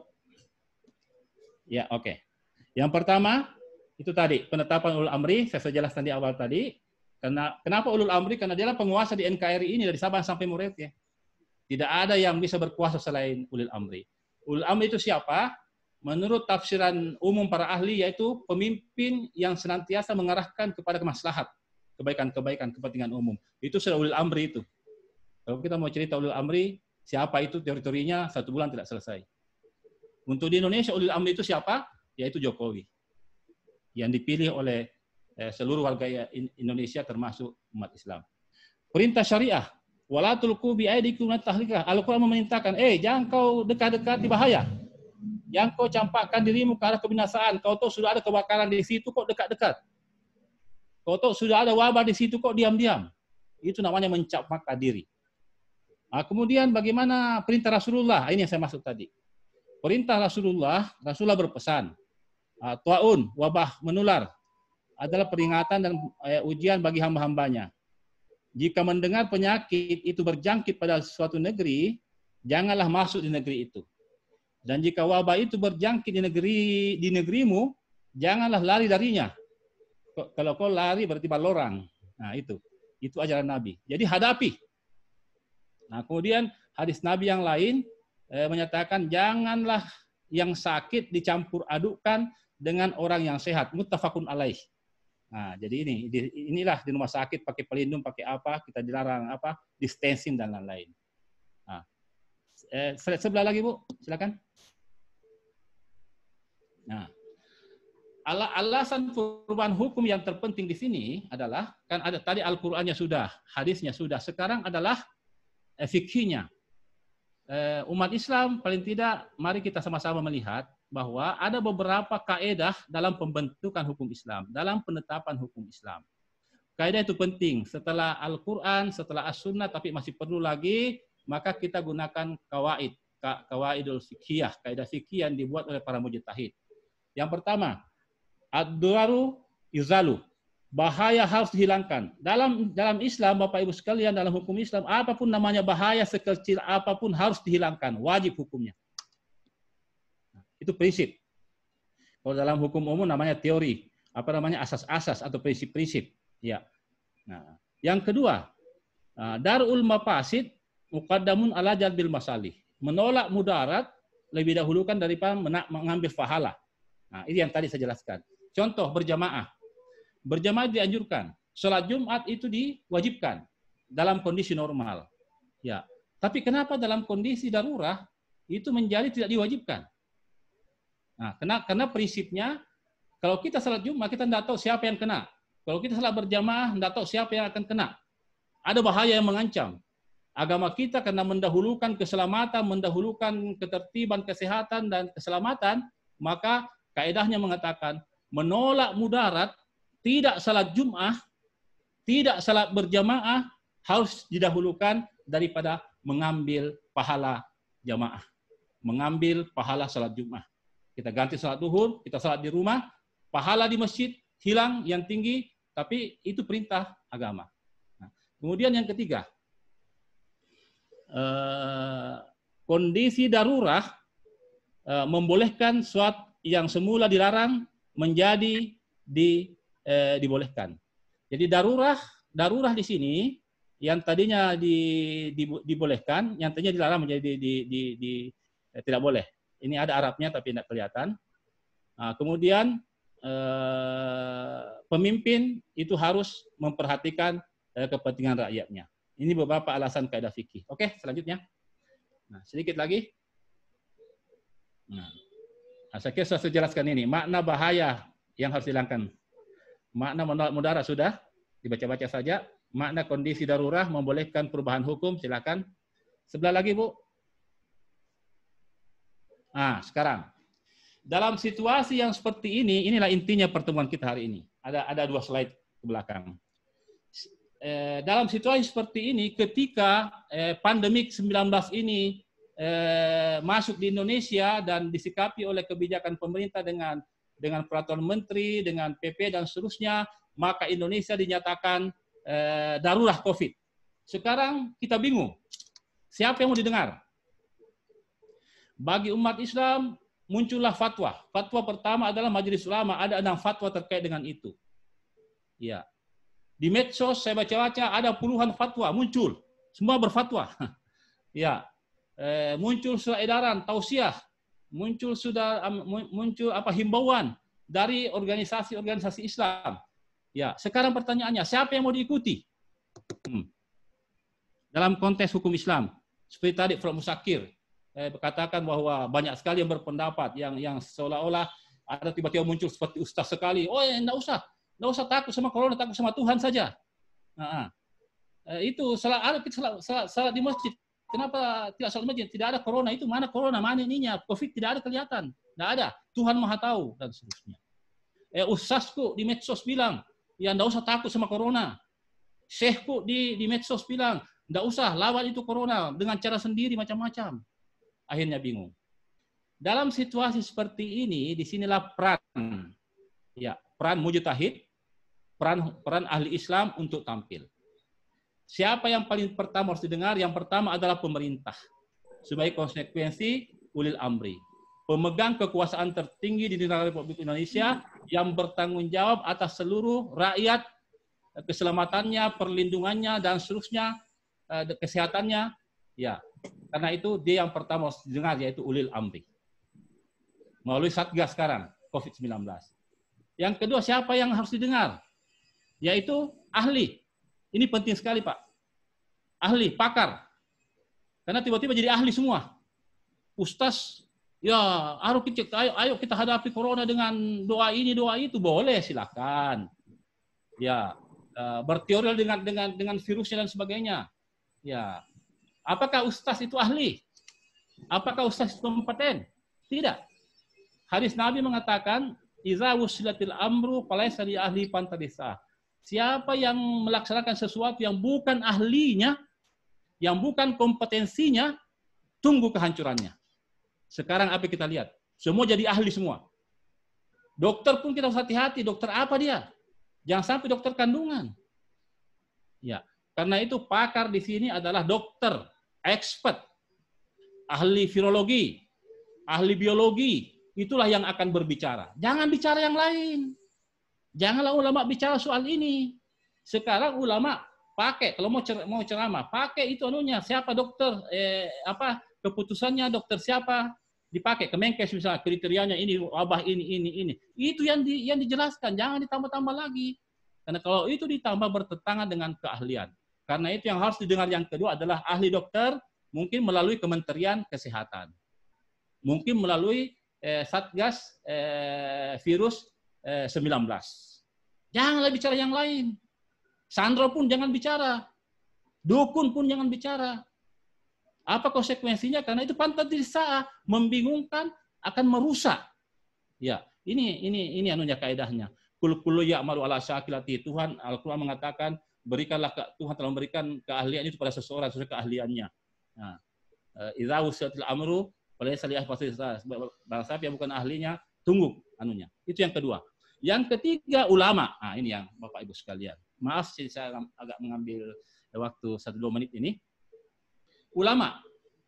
Ulama pun ini eh, dalam kajian akademik ini perlu dipahami baik-baik. Siapa itu ulama? Al ulama'u warasatul ummah ambia. Ulama adalah pewaris para nabi. Ulama itulah khadimul ummah, pelayan ummah, melayani ummah, membina ummah, membimbing ummah. Ya. Apa kerjanya ulama?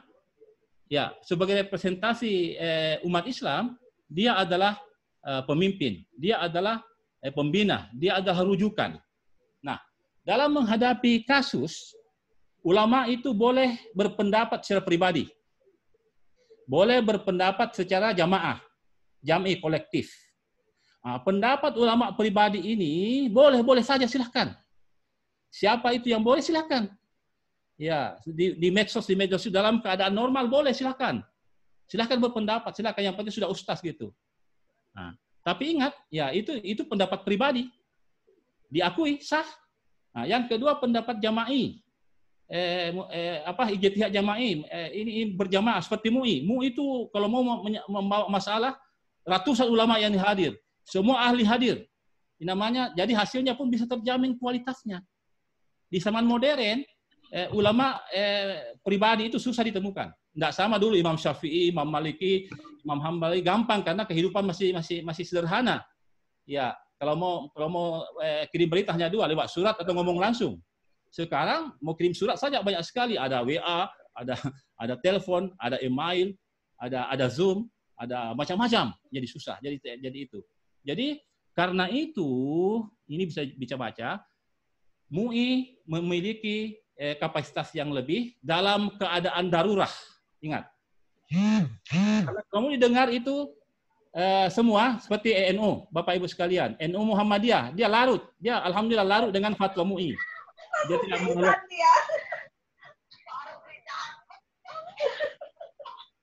Tolong Bapak Ibu tolong dikasih mute dulu soundnya. Terima kasih. Silakan Prof lanjut Prof.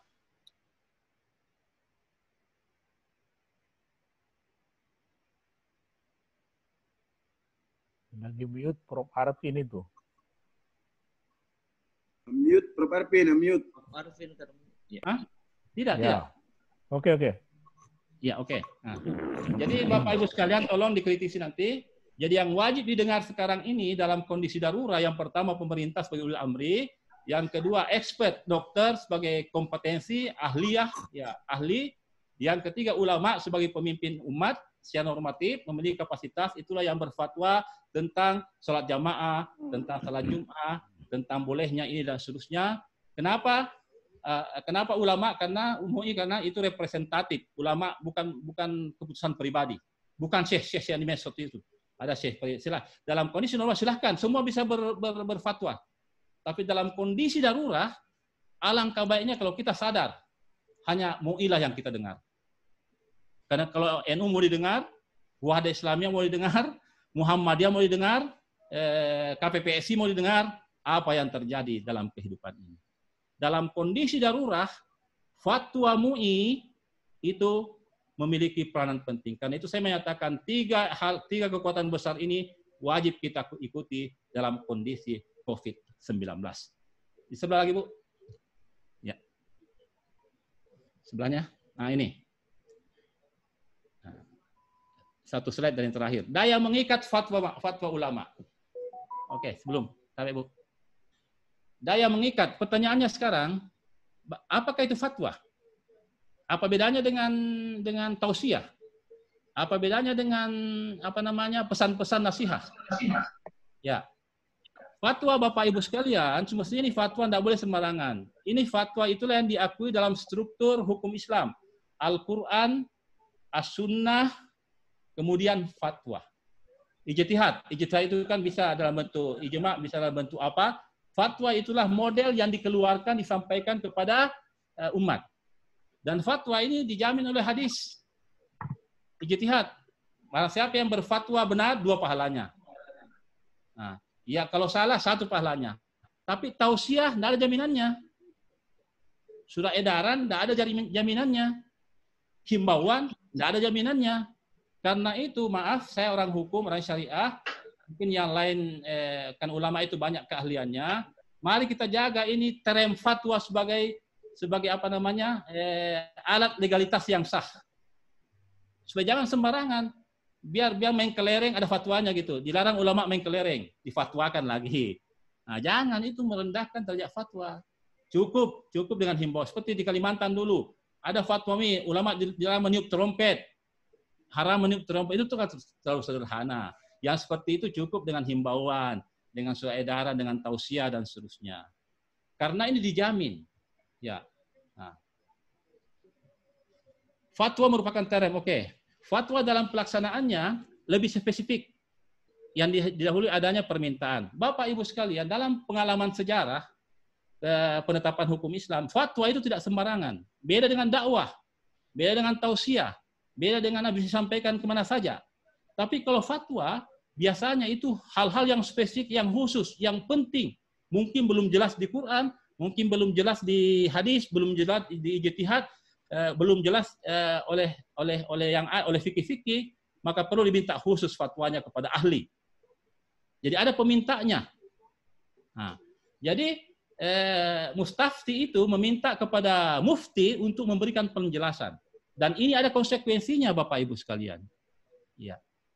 Nah, karena itu, pada umumnya ulama sepakat bahwa fatwa itu fardu kifayah. Dan dalam kondisi tertentu bisa menjadi fardu ain. Fardu kifayah itu artinya kalau ada yang wakili selesai. Seperti di COVID. COVID-19, ada MUI mewakili kita. Oke, selesai selesailah. Selesai kewajiban kita semua. Tapi kalau tidak ada MUI, semua berfatwa keluar kiri kanan, ya menjadikan menjadi ribut, menjadi apa, maka bisa menjadi fatwa itu menjadi fardu ain. Artinya yang bersangkutan harus memilih dari sekian puluh itu yang banyak yang membingungkan, memilih satu. Wajib dia memilih. Tetapi kalau, kalau kita sepakat mewakili MUI ditopang oleh pemerintah, oleh pemerintah juga meminta untuk MUI untuk berfatwa, kita ikutilah fatwa itu dalam kondisi darurat. Sekarang, bagaimana kekuatan berlakunya? Ya, yang pertama dari kajian para ahli hukum Islam menunjukkan bahwa fatwa itu tidak mengikat secara secara independen. Ya, beda Quran, beda hadis, itu langsung mengikat. Jadi fatwa itu hanya mengikat bagi yang mengeluarkannya. Nah, MUI mengeluarkan fatwa, seluruh pengurus MUI dan keluarganya wajib mengikuti fatwa MUI tentang COVID itu. Kemudian siapa? Yaitu yang meminta fatwa itu. Siapa? Pemerintah. Pemerintah harus memaksakan harus menjalankan fatwa-fatwa itu ke seluruh eh, jajarannya. Kemudian siapa? Yang menundukkan diri. Kita kita ini. Seperti Prof Musakir bukan bukan pengurus MUI Ibu Ratna eh, Pak Marilang bukan eh Pak Marilang pengurus MUI eh, kemudian yang yang lain itu karena fatwa MUI harus ya kita tundukkan diri. Itu mengikat Nah, relevan dengan kondisi yang memang darurat gitu. Nah, kalau inilah dibutuhkan kesadaran dan pemahaman umat Islam tentang ini. Sekarang jangan hebat-hebatan, Prof. Sekarang banyak hebat-hebat, tiba-tiba berfatwa semua. Ah, saya lebih takut daripada Tuhan daripada corona. Masa masjid dibangun mahal-mahal, kita mau tinggalkan. Iya. Ini perlu pemahaman. Karena ada situasi yang tidak menguntungkan, membahayakan. Jangan kita kira Bapak Ibu barangkali dia salah salah paham. Kalau dia kalau dia sholat di rumah, mungkin dia bilang eh, beda pahalanya kalau sholat di masjid. Kalau dia sholat duhur, beda pahalanya kalau dia sholat Jumat. Tidak demikian. Jamaah sekalian, bahkan lebih tinggi pahalanya. Iya. Jangan kita kira bahwa eh, substitusi sholat Jumat di masjid eh, ke, eh, menjadi sholat duhur, jangan katakan rendah pahalanya. Itu tidak benar itu. Ya, itu sama, sama kedudukannya, sama pahalanya. Berjamaah di rumah dengan keluarga, sama pahalanya berjamaah di masjid dalam situasi normal. Dalam situasi tidak normal, berjamaah di rumah sama pahalanya di masjid dalam keadaan. Ini yang penting juga karena saya eh, sudah tiga minggu kafir saya ini saya, karena saya tidak salat Jumat. Teman saya dokter puluhan tanya ke saya. Saya bilang sabar. Ini situasi darurat. Ada ada kaidahnya, ada hukumnya. Sama saja itu. Kecuali kalau eh, main kelereng tidak pergi salat Jumat, dituduh tidak salat Jumat, ya itu tujuh kali lipat dosanya itu.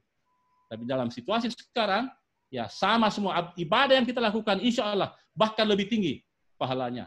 Karena kita dalam posisi darurat. Karena itu Bapak Ibu sekalian, sedikit lagi saya minta waktu. Ya, jadi model model ijtihad yang kita lakukan adalah mujtahid. Yang pertama personal mujtahid mutlak itu sudah susah dilakukan sekarang karena tidak ada yang ahli ahli semua. Ada ahli agama tapi tidak ahli ekonomi, tidak ahli komunikasi, tidak ahli teknik, tidak ahli kesehatan Eh, ahli agama saja. Tidak sama dulu Imam Syafi'i itu eh, bisa menyelesaikan semua masalah karena sederhana, sekarang tidak bisa. Maka mujtahid mutlak itu posisinya sekarang bukan tidak boleh, tetapi itu sudah tidak tidak tidak kondusif.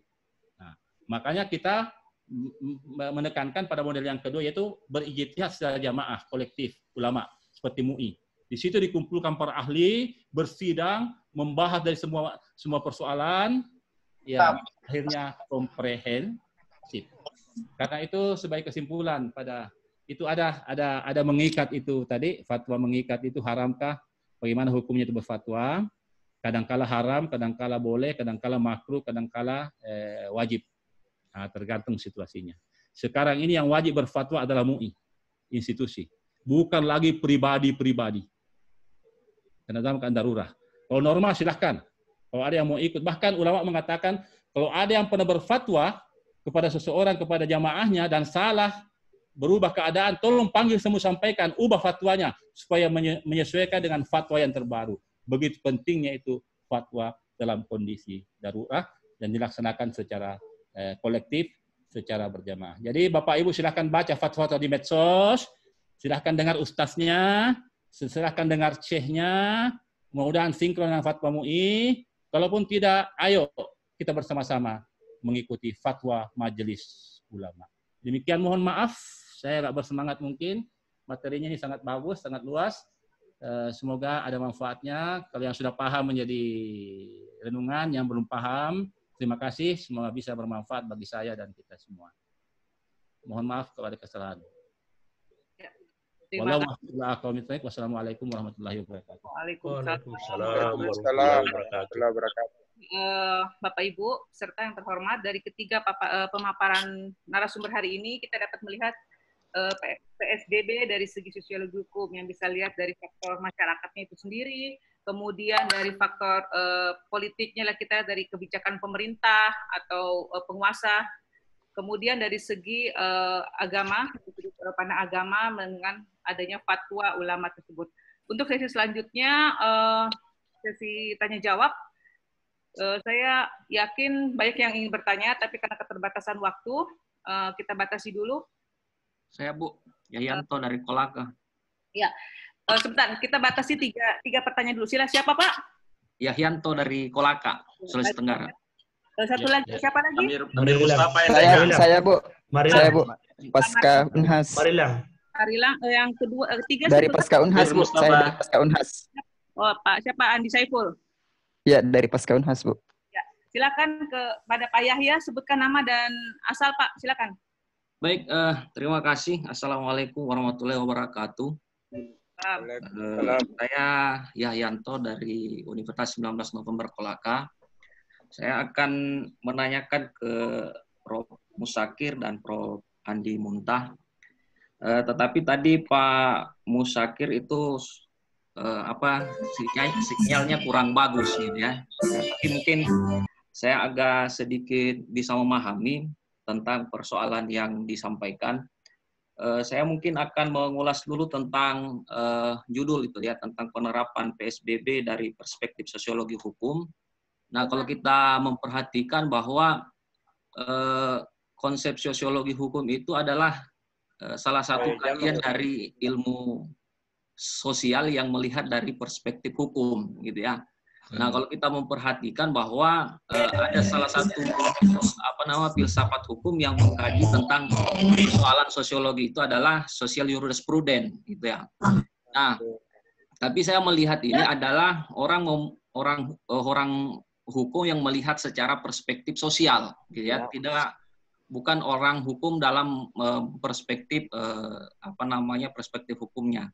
Nah, kira-kira dari uh, PSBB ini dari kacamata pandangan hukum Prof. Musakir, uh, Prof. Musakir itu seperti apa sih sebenarnya? Nah, kira-kira itu yang pertama. Yang kedua, uh, Prof. Andi Andi Muntah kalau tidak tadi itu sebenarnya ya sebenarnya ada uh, dia Pak Prof tadi sudah menyampaikan tentang aturan-aturan uh, PSBB itu yaitu tentang di peraturan pemerintah dengan uh, perwali. Tapi sebenarnya dan itu ada sanksi pidananya. Nah, kalau saya melihat dari perspektif pidana bahwa peraturan pemerintah dan peraturan perwali itu itu tidak cocok uh, dimasukkan dalam uh, sanksi pidana karena sanksi pidana itu yang tepatnya itu dalam perspektif tata negara itu bisa dikaji dari undang-undang atau peraturan daerah. Jadi kalau saya melihat bahwa peraturan itu itu eh, kenapa tidak mempunyai efektifnya? Karena mungkin secara secara hukumnya juga dia eh, apa namanya peraturannya dia sudah cacat juga gitu ya. Karena dia eh, dimasukkan dalam peraturan pemerintah atau di dalam peraturan perwali. Nah kira-kira eh, Pak Prof. Muntah itu apakah cocok penerapan pidana itu dilakukan di dalam peraturan pemerintah atau peraturan perwali? Dan karena ini eh, bagaimana dan ini bagaimana efektif efektifnya kalau peraturan itu uh, diterapkan terhadap peraturan pemerintah dan peraturan perwali itu. Sekian mungkin terima kasih Bu Andi. Ya, terima kasih. Silakan Pak Marilang.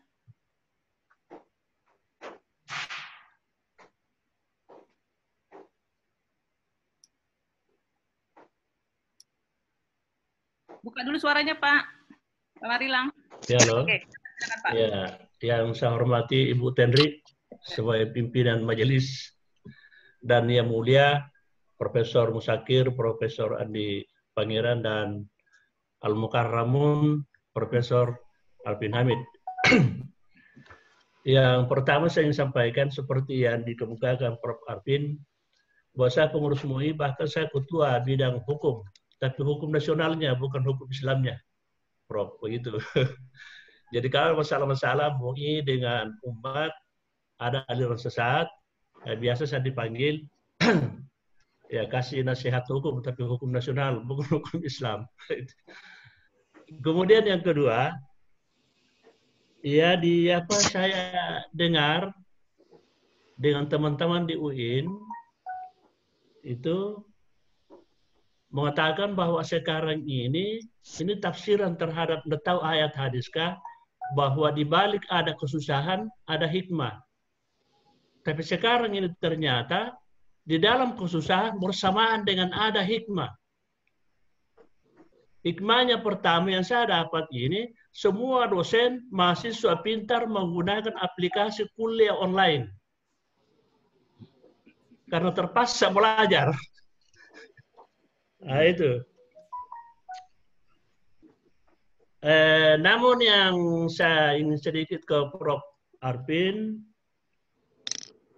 ini kalau istilah mengikat daripada fatwa MUI, mungkin bukan mengikat seperti hukum nasional, undang-undang. karena mengikatnya dibatasi oleh pasal 29 Undang-Undang Dasar 45 ayat 2 bahwa urusan agama hanya urusan individu dan urusan umat. Ini, jadi kalau fatwa MUI bertingkat menjadi seperti mengikatnya hukum nasional, mungkin ya saya tidak tahu, saya tanya Prof. Arvin, apakah tidak melanggar pasal 29 ayat 2 Undang-Undang Dasar 45? Itu yang saya tanyakan. Kemudian khusus untuk Prof. Musakir dengan Prof. Adi Pangeran, mengenai sanksi, ini di Undang-Undang Kesehatan itu jelas sekali bahwa yang bisa dikenakan sanksi ini apabila yang dijalankan adalah karantina. Dan esensi karantina itu orang dikurung dan seluruh kebutuhannya harus dipenuhi ditanggung oleh pemerintah. Sedangkan PSBB ini ini tidak persis sama dengan karantina dan yang pasti kebutuhan pokoknya tidak ditanggung oleh pemerintah. Apakah mereka kalau melanggar PSBB bisa dijatuhkan sanksi seperti penerapan karantina yang betul-betul dikurung dan dijamin kebutuhan pokoknya oleh pemerintah. Ini yang perlu apa namanya dijelaskan kembali. Saya kira itu Bu yang saya bisa sampaikan. Ya. Terima kasih. Assalamualaikum warahmatullahi wabarakatuh. Waalaikumsalam. Pak Saiful ya, Terima kasih. Assalamualaikum warahmatullahi wabarakatuh. Eh, selamat siang pada semua eh, Prof. Pangeran, Prof. Musaki, dan Prof. Arifin Hamid yang kebetulan menjadi dosen pengampu saya di mata kuliah Sosiologi Hukum pasca sarjana program ilmu hukum UNHAS. Eh, bang, saya mau coba mulai bangunan uh, argumentasi saya terkait dengan adanya uh, range waktu yang sangat lama bulan Januari ke bulan April terkait adanya peraturan pemerintah nomor 21 tahun 2020 sebagai turunan dari Undang-Undang nomor 6 tahun 2018 yang di mana ini kemudian telah menjadi kajian dari uh, salah satu perguruan tinggi Universitas Indonesia bahwa uh, COVID itu sebenarnya sudah ada di Indonesia. Kemudian ini dibantah oleh Kementerian Kesehatan, begitu juga ada penelitian dari Harvard yang juga dibantah oleh uh, Kementerian Kesehatan. Artinya kita selama dua bulan ini itu kita melihat guyonan dari pemerintah terkait uh, penanganan COVID-19 ini. Terus yang uh, saya ter, tertarik juga tadi dengan uh, pemaparan materi dari Prof. Musakir meskipun sempat uh, agak terputus karena jaringan. Itu terkait dengan uh, bagaimana sebenarnya Prof Musakir melihat ada ada eh, masjid-masjid uh, misalnya yang masih uh, melakukan ibadah uh, sholat berjamaah, sholat tarwih misalnya dan semacamnya, yang kemudian uh, kita lihat bahwa ini sudah ini sudah bisa dibilang lebih pintar lagi dari ulama dan semacam. Saya saya justru melihat yang mungkin saya bisa minta tanggapannya, Prof. Saya melihat di dalam struktur masyarakat di tengah atau di kota Makassar dalam struktur masyarakat itu dia masih meyakini adanya peranata sosial. Artinya peranata sosial ini yang kemudian uh, pernah dikemukakan itu oleh George Ritzer itu bahwa peranata sosial inilah yang kemudian akan mempengaruhi suatu masyarakat. Gitu. Ada culture yang tertanam sejak sejak dulu begitu, Prof. Artinya kalau kita melihat bagaimana pemerintah telah mencoba untuk menerapkan eh, PSBB di tengah Eh, masyarakat dalam hal ini misalnya pelarangan ibadah sholat tarwih misalnya ini kan justru ditentang oleh masyarakat. Bahkan sempat ada cuitan mengatakan bahwa masyarakat ini cuitan masyarakat yang mengatakan ini pemerintah bisa dilaknat kalau seperti ini. Ini kan artinya ada eh, peranata sosial yang masih mempengaruhi masyarakat dalam hal ini. Mungkin lingkungan eh, ibadah masjid misalnya begitu, begitu. Prof. Kira dalam masjid-masjid itu pasti punya uh, jamaah-jamaah tetap, saya kira begitu. Terus yang kedua uh, terkait dengan pemaparan dari uh, materi oleh Prof. Pangeran, itu yang pertama tadi juga mungkin sudah diwakili oleh Bapak Yahyanto terkait dengan mungkinkah perwali ini atau pergub misalnya dalam DKI Jakarta itu menerapkan sanksi pidana. Tapi saya justru tertarik dengan Undang-Undang Nomor 6 Tahun 2018 yang kemudian tidak memberikan atau tidak menerapkan sanksi administrasi. Sedangkan kita tahu dari berbagai sosial media terkait dengan ancaman pencabutan izin usaha, ancaman uh, penutupan toko dan segala macam itu kan merupakan sanksi administrasi yang akan diterapkan terhadap pelanggar PSBB misalnya uh, sebuah toko dan semacamnya. Yang kemudian ternyata ini tidak diterapkan oleh undang tidak dijelaskan oleh Undang-Undang Nomor 6 Tahun 2018. Mungkinkah perwali atau pergub atau yang mestinya idealnya diterapkan sebagai perda peraturan daerah itu memuat suatu peraturan uh, pelanggaran sanksi administrasi yang kemudian tidak diterapkan oleh atau tidak dijelaskan oleh Undang-Undang Nomor 6 Tahun eh, 2018. Terus yang kedua untuk uh, terkait penegakan sanksi ini. Persingkat. Saya, ya, aja deh pertanyaannya deh. Ya, uh, yang terkhusus ini di Kabupaten Goa, Prof. Saya melihat di, di Kabupaten Goa ini itu PSBB-nya berlebihan yang pertama itu kita dilarang akses masuk ke Kabupaten Goa. Saya kira ini kan eh, PSBB tidak menjelaskan terkait itu, terkait pelarangan keluar masuk di, dari suatu daerah. Yang kedua, saya melihat aparat penegak hukum yang ada di Kabupaten Goa itu berlebihan dalam menerapkan sanksi PSBB-nya. Jika kita mener ingin menerapkan sanksi PSBB, kok kemudian pelanggarnya ini dikumpul dalam dalam suatu lapangan, terus kemudian disuruh push up dan semacamnya. Ini ya. kan justru uh, saya saya melihat ini mungkin bagian dari pelanggaran HAM begitu Prof terkait uh, penerapan sanksinya. Pertanyaannya sudah ya? Iya. Ya, ya, mungkin itu saja dulu. Bu Andi, kalau bisa nambah Bu Andi satu karena sangat penting. Boleh, boleh, buat, boleh Bu Ten ditambah. Amir Mustafa. Bagaimana Prof? Langsung ditanya, ditambah dulu karena boleh, saya sudah. Boleh, boleh. Oh, ya. Bu Andi, Amir Mustafa dari Endrekang, Bu Andi. Ya, sebentar dulu Pak. Uh, saya juga lihat ada yang uh, raise hand tadi yang uh, Pak, kalau bisa tambah lagi tiga untuk tiga sesi ini. Bapak tambah siapa Pak?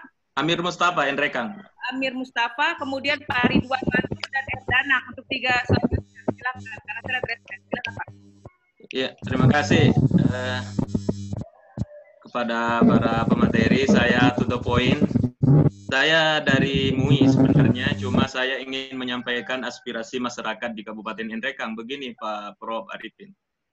Di Endrekang ini kan eh, banyak pelosok gunung sana, artinya mobilisasi massa itu eh, bisa sangat terkontrol dan masyarakat tahu bahwa dalam satu hari mungkin tidak ada orang dari luar. Masyarakat juga dengan kecanggihan teknologi di pelosok juga itu 4G, artinya bisa membaca dengan jelas Fatwa Majelis Ulama Pusat nomor 14. Di sana kan ada zonasi dibagi menjadi tiga, merah, hijau, yang terakhir itu yang mereka pegangi adalah bahwa zona yang tingkat penularannya rendah dan terkendali harus salat Jumat harus berja harus uh, melakukan aktivitas uh, seperti biasanya.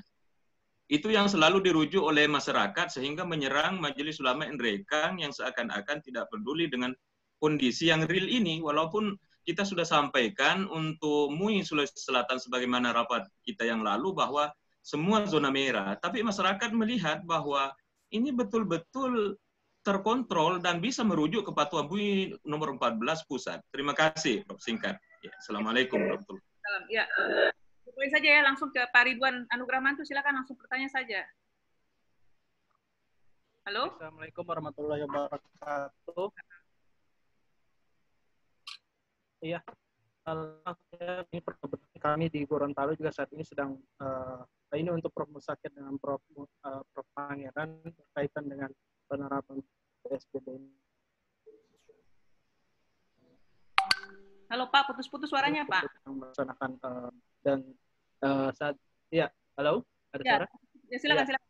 Uh, kita, kami juga sedang melaksanakan PSBB. Uh, hanya saja memang yang saya lihat memang sejauh ini uh, partisipasi bukan hanya dari partisipasi masyarakat yang masih kurang disiplin dari pelaksanaan PSBB ini, tapi juga masih adanya kelonggaran dari dari aparat dan stakeholder dari pemerintahan yang belum uh, melaks, belum melaksanakan atau menegakkan aturannya ini secara secara menyeluruh.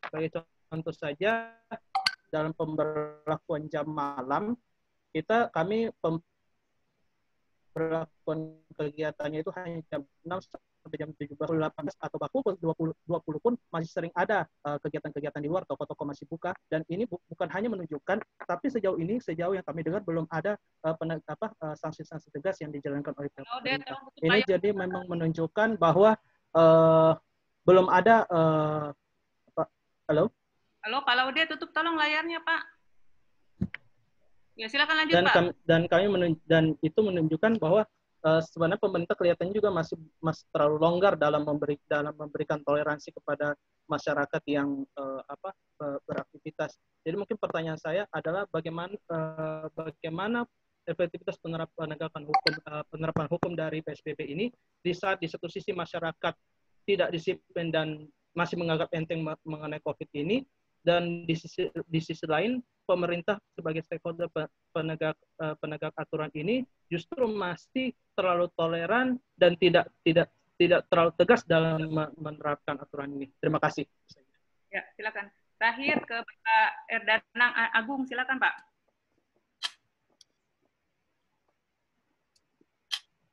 Halo? Halo? Pak Danang? Halo? Perundangan yang sudah berbeda. Ya, di situ uh, ada Undang-Undang Dasar 45, TAP MPR, kemudian Perpu, peraturan pemerintah. Pak Danang lagi di acara lain juga. Di lanjut lagi. Lainnya. Oh, kenapa ada masuk? Peraturan pelaksana lainnya ini memang uh, iya, kami persilakan. Halo. Kenapa ada suara masuk? Halo, Di Alif? Oke. Okay. Halo, Pak Erdana, mau bertanya tidak? Pak Danang tadi yang itu, Bu, suara yang tadi. Kayaknya dia di seminar lain juga mungkin. Dilanjut Oke, aja. Kita uh, silakan kepada Bapak uh, para narasumber untuk memberikan jawaban atas pertanyaan. Silakan kepada Prof. Mustakir untuk pertama kali menjawab. Baik, terima kasih. Bagaimana? Ya, ya. Prof, ya. Ada di suara tak? Kita sudah pindah, sudah tiga kali pindah tempat ini. ya, silakan Prof. Baik, uh, pertama-tama saya menyampaikan terima kasih dan penghargaan saya yang setinggi-tingginya kepada para peserta, terutama yang bertanya, dan saya melihat pertanyaannya ini bagus-bagus, sangat menyentuh persoalan, uh, dan saya mulai satu persatu. Yang pertama dari Pak Yahya Kolaka ya. Uh, ada satu yang ya berbeda pendapat itu biasa saja, tapi ada satu yang perlu saya luruskan bahwa di dalam kajian sosiologi hukum itu kita mengenal ada dua istilah. ada istilah sociology of law, ada istilah uh, sociological of jurisprudence. Nah, kajian sosiologi hukum, baik sociology of law maupun uh, sociological of jurisprudence, itu tidak pernah menyatakan bahwa menggunakan kacamata hukum mengkaji sosial. Tidak. Tetapi sociology of law maupun uh, sociological of jurisprudence itu menggunakan teori-teori ilmu sosial untuk mengkaji hukum. Jadi misalnya, bagaimana kita menggunakan teori-teori sosial ini dalam melihat penerapan PSBB. Nah itu. Jadi bukan menggunakan teori hukum dalam melihat sosialnya, tapi menggunakan teori-teori dari ilmu-ilmu sosial di dalam meneropong hukum. Nah, jadi uh, istilah sosiologi of law dan sosiological of jurisprudensi ini, ini memang dari segi istilah berbeda, dari segi sumber juga berbeda. Perlu saya jelaskan sedikit supaya lebih supaya tidak keliru. Istilah istilah sociological of uh, sociology of law itu bersumber dari pohon ilmu sosial, sosiologi. Sedangkan sociological of jurisprudence artinya ilmu hukum yang sosiologis, ini sumber ilmunya dari ilmu hukum. Jadi sekalipun sumber ilmunya pohonnya berbeda, itu metodenya sama, substansinya sama. Kedua-duanya menggunakan teori-teori ilmu sosial di dalam meneropong hukum. Ya. Supaya ini jelas. Kemudian pertanyaannya bagaimana penerapan PSBB ini? Nah, jadi dalam perspektif sosiologi hukum, bagaimana penerapan PSBB ini? Ya, saya melihat terutama di Makassar. Ya, saya melihat bahwa penerapan PSBB yang ada sekarang ini itu sebagian sudah efektif. Tapi sebagian juga belum atau kurang efektif. Nah, kita bisa lihat yang apa yang menyebabkan tidak efektif itu bisa lihat di di dalam uh, materi saya itu di slide 9 dan 10. Barangkali saya perlu bacakan. Yang pertama, ini juga untuk menjawab Andi Saiful ya.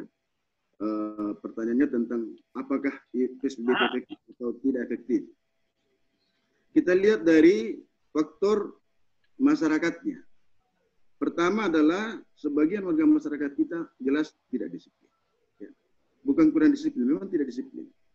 Nah, kemudian sebagian kebutuhan hidup masyarakat yang belum terpenuhi, nah, sehingga tidak mengindahkan pemberlakuan PSBB. Ini realitasnya. Kemudian masih terdapat, nah itu tadi pola pikir yang saya katakan, stigma ejaton pinadoan nanti kena. Nanti kita kena baru kita tahu bagaimana rasanya, baru kita bisa menghindar. Nah, ini kan stigma yang keliru.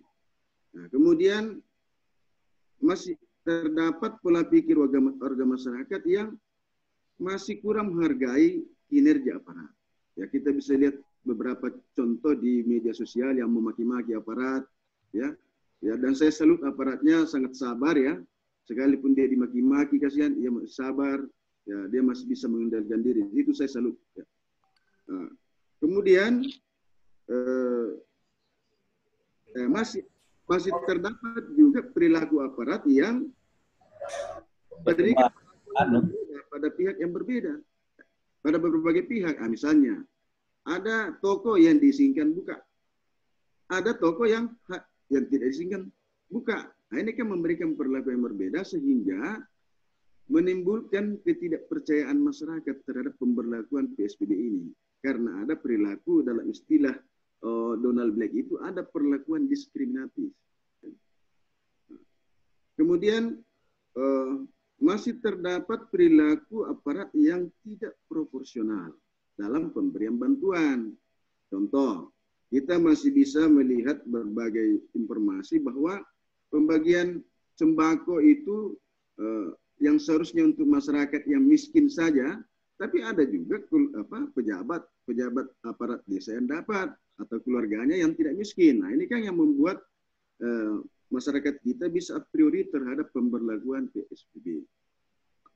Dari faktor strukturnya, nah, antara lain faktanya bahwa eh, kinerja aparat ini belum kasihan diberikan sebagai suatu eh, penghargaan dari eh, atasannya. Nah sekarang ada yang bertanya, eh, kalau tidak salah, eh, Pak Ridwan, ya, dari Gorontalo. Dari Gorontalo. Eh, kemudian eh, apa solusinya? Nah, saya bisa bacakan di slide saya nomor 11 dan nomor 12. Ya. Nah. Pertama, terkait dengan uh, pelaksanaan secara teknis. Nah, ter, tadi ada yang bertanya, kenapa di gua berlebihan? Nah, ini ini yang saya maksud. Kita harus lihat secara berbeda di tempat lain bagaimana peraturan teknisnya. Ya, Nah, mungkin teknis yang peraturan teknis di Makassar berbeda dengan peraturan teknis di, di Goa. Nanti Prof. yang melihat bagaimana substansinya. Kemudian nah ini menciptakan dan meningkatkan koordinasi. Jangan saling menyalahkan antara bawahan dan atasan. Atasan mengatakan apa bawah mengatakan tindakan saya sudah benar. Atasannya mengatakan ah itu salah. Nah, ada lagi mengatakan itu bisa tut, itu boleh buka. Yang penting mengikuti uh, protokol COVID dan lain-lain. Padahal dari dari kriteria PSBB dia tidak boleh buka karena dia bukan uh, toko yang uh, masuk dalam kriteria itu, menyiap, misalnya menyiapkan bahan makanan dan lain-lain. Nah, kemudian menambah sumber daya karena keterbatasan tenaga. Nah, seperti Gorontalo, saya tidak yakin sejum, uh, apa, uh, berapa banyak satpol pp, polisi, dan lain-lain yang bisa mengawasi seluruh lokasi yang ada di Gorontalo, seluruh jalan-jalan yang ada di Gorontalo. Saya tidak yakin itu bisa dikontrol semuanya. Sehingga tidak mengherankan kalau masih ada yang keluar pada saat jam malam sudah berlaku. Artinya apa? Di sini ada kontrol yang kurang. Kenapa kurang? Karena keterbatasan. Nah, saran saya adalah menambah tenaga, bagaimana caranya? Misalnya, melibatkan eh, lembaga-lembaga swadaya masyarakat untuk membantu. Ya, tentu ini kendalanya lagi adalah biaya. Karena belum tentu semua orang mau bekerja secara sukarela. Nah, itu. Tapi ya, saya yakin masih ada lah kelompok-kelompok masyarakat yang mau membantu pemerintah dengan dengan sukarela. nah, kemudian uh, saya salut pada uh, saya tidak mengatakan Makassar tidak bagus, tapi saya salut sama Parepare dan Gua. Wali Kota Parepare salah satu uh, apalagi namanya program yang baru-baru diluncurkan itu memberikan reward kepada aparat desa yang berhasil menurunkan atau membatasi penyebaran COVID-19 dengan menyediakan dana 100 juta. Nah, ini kan apa ya? Uh, warga eh, aparat kita kalau ada reward seperti itu pasti dia akan merasa bahwa kami juga dihargai. Nah, di Goa ya. Di Goa sebelum pemberlakuan PSBB itu tahu persis bahwa kalau terjadi PSBB maka ada beberapa kebutuhan dari warga masyarakat ini yang bakal tidak bisa terpenuhi. Makanya gua itu sebelum memperlakukan PSBB dan ini saya salut, dia berikan dulu bantuan kepada masyarakatnya, baru dia berlakukan PSBB. Nah sekarang uh, terkait dengan uh, Pak Marilan, nah ini tetangga saya ini, Pak Marilan, depan rumah saya ini, rumah adiknya ini. Bagaimana dengan sanksi yang diterapkan yang terdapat di dalam undang-undang karantina? Ini memang uh, pada awal munculnya terjadi pro, pro dan kontra. Tapi bagi saya, saya tidak mau masuk di situ. Apa pun sanksi yang ada di dalam PSBB itu, maka perlu jelas ada atau ada mekanisme yang jelas dalam penanganan sanksinya. Supaya tidak seperti tadi, seperti Pandi Pangeran mengatakan, ada toko buka, tiba-tiba disiram dengan pemadam kebakaran sebagai salah satu bentuk, bentuk sanksi. Padahal sanksi itu tidak diatur dalam PSBB. Nah, ini kan tidak jelasnya bagaimana mekanisme penerapan sanksi dan apa jenis sanksi yang ada. Uh, uh, Tabib Pak Amir, ya, sebagai ulama, saya salut sama Bapak. Artinya Bapak sudah sangat merespon uh, kondisi masyarakat sekalipun tidak bertanya kepada saya. Tapi itu yang saya katakan tadi Pak Amir, bahwa masyarakat kita ini banyak sekali yang merasa lebih pintar dari para ulama. Itu. Saya selalu katakan, siapa yang lebih lebih pintar dari ulama dibandingkan dengan kita-kita ini yang hanya selalu rajin ke masjid, sehingga punya keyakinan bahwa salat di masjid lebih bagus daripada salat di rumah. Terus tiba-tiba ulama kita melalui majelis sudah mengatakan salat di rumah lebih bagus karena bahaya seperti ini seperti dijelaskan Prof. Arfi. Saya kira itu yang kita ikuti, tidak usah kita sok pintar. Nah inilah salah satu hambatan-hambatan memang Pak Amir di dalam pemberlakuan uh, eh, PSBB adanya pembatasan-pembatasan seperti itu. Kemudian yang terakhir uh, mengenai sanksi yang diterapkan di Goa yang dianggap berlebihan. Saya mau sampaikan begini. Apakah sanksinya itu diatur atau tidak? Kalau sanksinya itu tidak diatur, misalnya di dalam pemberlakuan PBS, kalau ada yang melanggar disuruh pusat, kalau itu tidak diatur, ya itu jelas pelanggaran HAM. Tetapi kalau sanksinya diatur, maka itu bukan pelanggaran HAM. Kenapa? Karena sesuatu yang menurut hukum itu benar, itu tidak melanggar HAM. Contoh, orang di penjara itu semua orang dilanggar HAM-nya. Tetapi menjadi tidak melanggar HAM karena itu diatur menurut hukum. Saya kira itu untuk sementara. Terima kasih. Assalamualaikum warahmatullahi wabarakatuh. Dan mohon maaf kalau ada yang kurang. Ya, terima kasih, Prof. Uh, kami silakan uh, Adi Pangeran untuk menambahkan, uh, menjawab pertanyaan, Prof. Silakan, Prof. Ya, terima kasih. Uh, ini pertanyaan bagus-bagus semua ya. Ada beberapa yang ditujukan ke saya. Yang pertama, dari Pak Yahya ya, Pak Yahyanto. Ya. Uh, dia mengatakan atau bertanya, apakah PP atau perwali itu bisa memuat sanksi pidana? Ya, ya jawaban saya, kalau membaca pasal 25 ayat 2 perwali, itu memang secara tegas tidak mengatur sanksi pidananya. Cuma dia menyatakan bahwa mengenai sanksi pidana itu diterapkan sesuai dengan peraturan perundang yang berlaku. Ternyata yang ditunjuk itu adalah Undang-Undang 6 2018 mengatur sanksi pidana, yaitu dari pasal 90 sampai 94.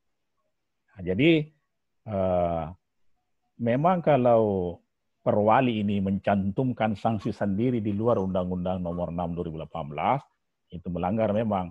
Makanya dia tahu diri ini perwali atau pergub tidak mencantumkan sendiri dia menyerahkan ke peraturan perundangan yang berlaku yaitu menunjuk kembali ke Undang-Undang 6 2018 tentang uh, kekarantinaan kesehatan. Itu ya yang pertama. Kemudian dari sekampung saya ini, Pak Marila, ya, sekampung dan satu organisasi juga dulu ini. Menarik pertanyaannya ini. Menurut Undang-Undang Kesehatan yang dia kutip tadi itu, bahwa uh, itu tidak bisa diterapkan itu sanksi pidana kalau PSBB ya. Nah, alasannya karena ya karantina itu memang beda dengan uh, eh, PSBB. Begini Pak Marila. Kalau Anda tadi ikuti saya punya paparan di Undang-Undang 6 2018 tentang kekarantinaan kesehatan itu itu memang diatur juga mengenai PSBB ya pengendalian sosial berskala besar diatur juga dan di situ juga Undang-Undang 6 2018 ada sanksi pidananya. Jadi kelihatannya antara Undang-Undang Kesehatan, kalau memang betul bacaannya Pak Marilam begitu, dengan Undang-Undang 6 2018 itu tidak serasi. Tapi yang jelas menurut Undang-Undang 6 2018 uh, dimuat sanksi pidana. Itu ya. ya. Kemudian dari Andi Saiful, pertanyaannya bahwa perwali maupun pergub itu tidak mengatur sanksi administrasi. Ya, memang undang-undang yang menjadi uh, payungnya ini Undang-Undang 6 2018 tidak ada sanksi administrasi. Itulah sebabnya sehingga pergubnya DKI tentang PSBB, perwalinya Makassar tentang PSBB memang tidak mencantumkan uh, sanksi administrasi, misalnya mencabut izin usaha. Tetapi dalam kenyataannya di Makassar pernah saya lihat itu ada postingan, ada berita bahwa ada satu toko itu dicabut uh, izin usahanya, izin operasionalnya. Sebetulnya itu tidak tidak bagus, itu tidak sesuai dengan uh, aturan yang berlaku karena dalam Undang-Undang 6 2018 maupun uh, perwali ya itu tidak mencantumkan sanksi administrasi ya. Jadi kalau ada prakteknya seperti itu saya lihat itu berlebihan dari aparat itu. Kemudian nah, yang terkait juga dengan saya yaitu uh, Pak Ridwan Anugrah Mantu ya dari Gorontalo. Ada pernyataannya beliau bahwa belum ada sanksi tegas dari aparat. Ya memang ya toleransinya banyak.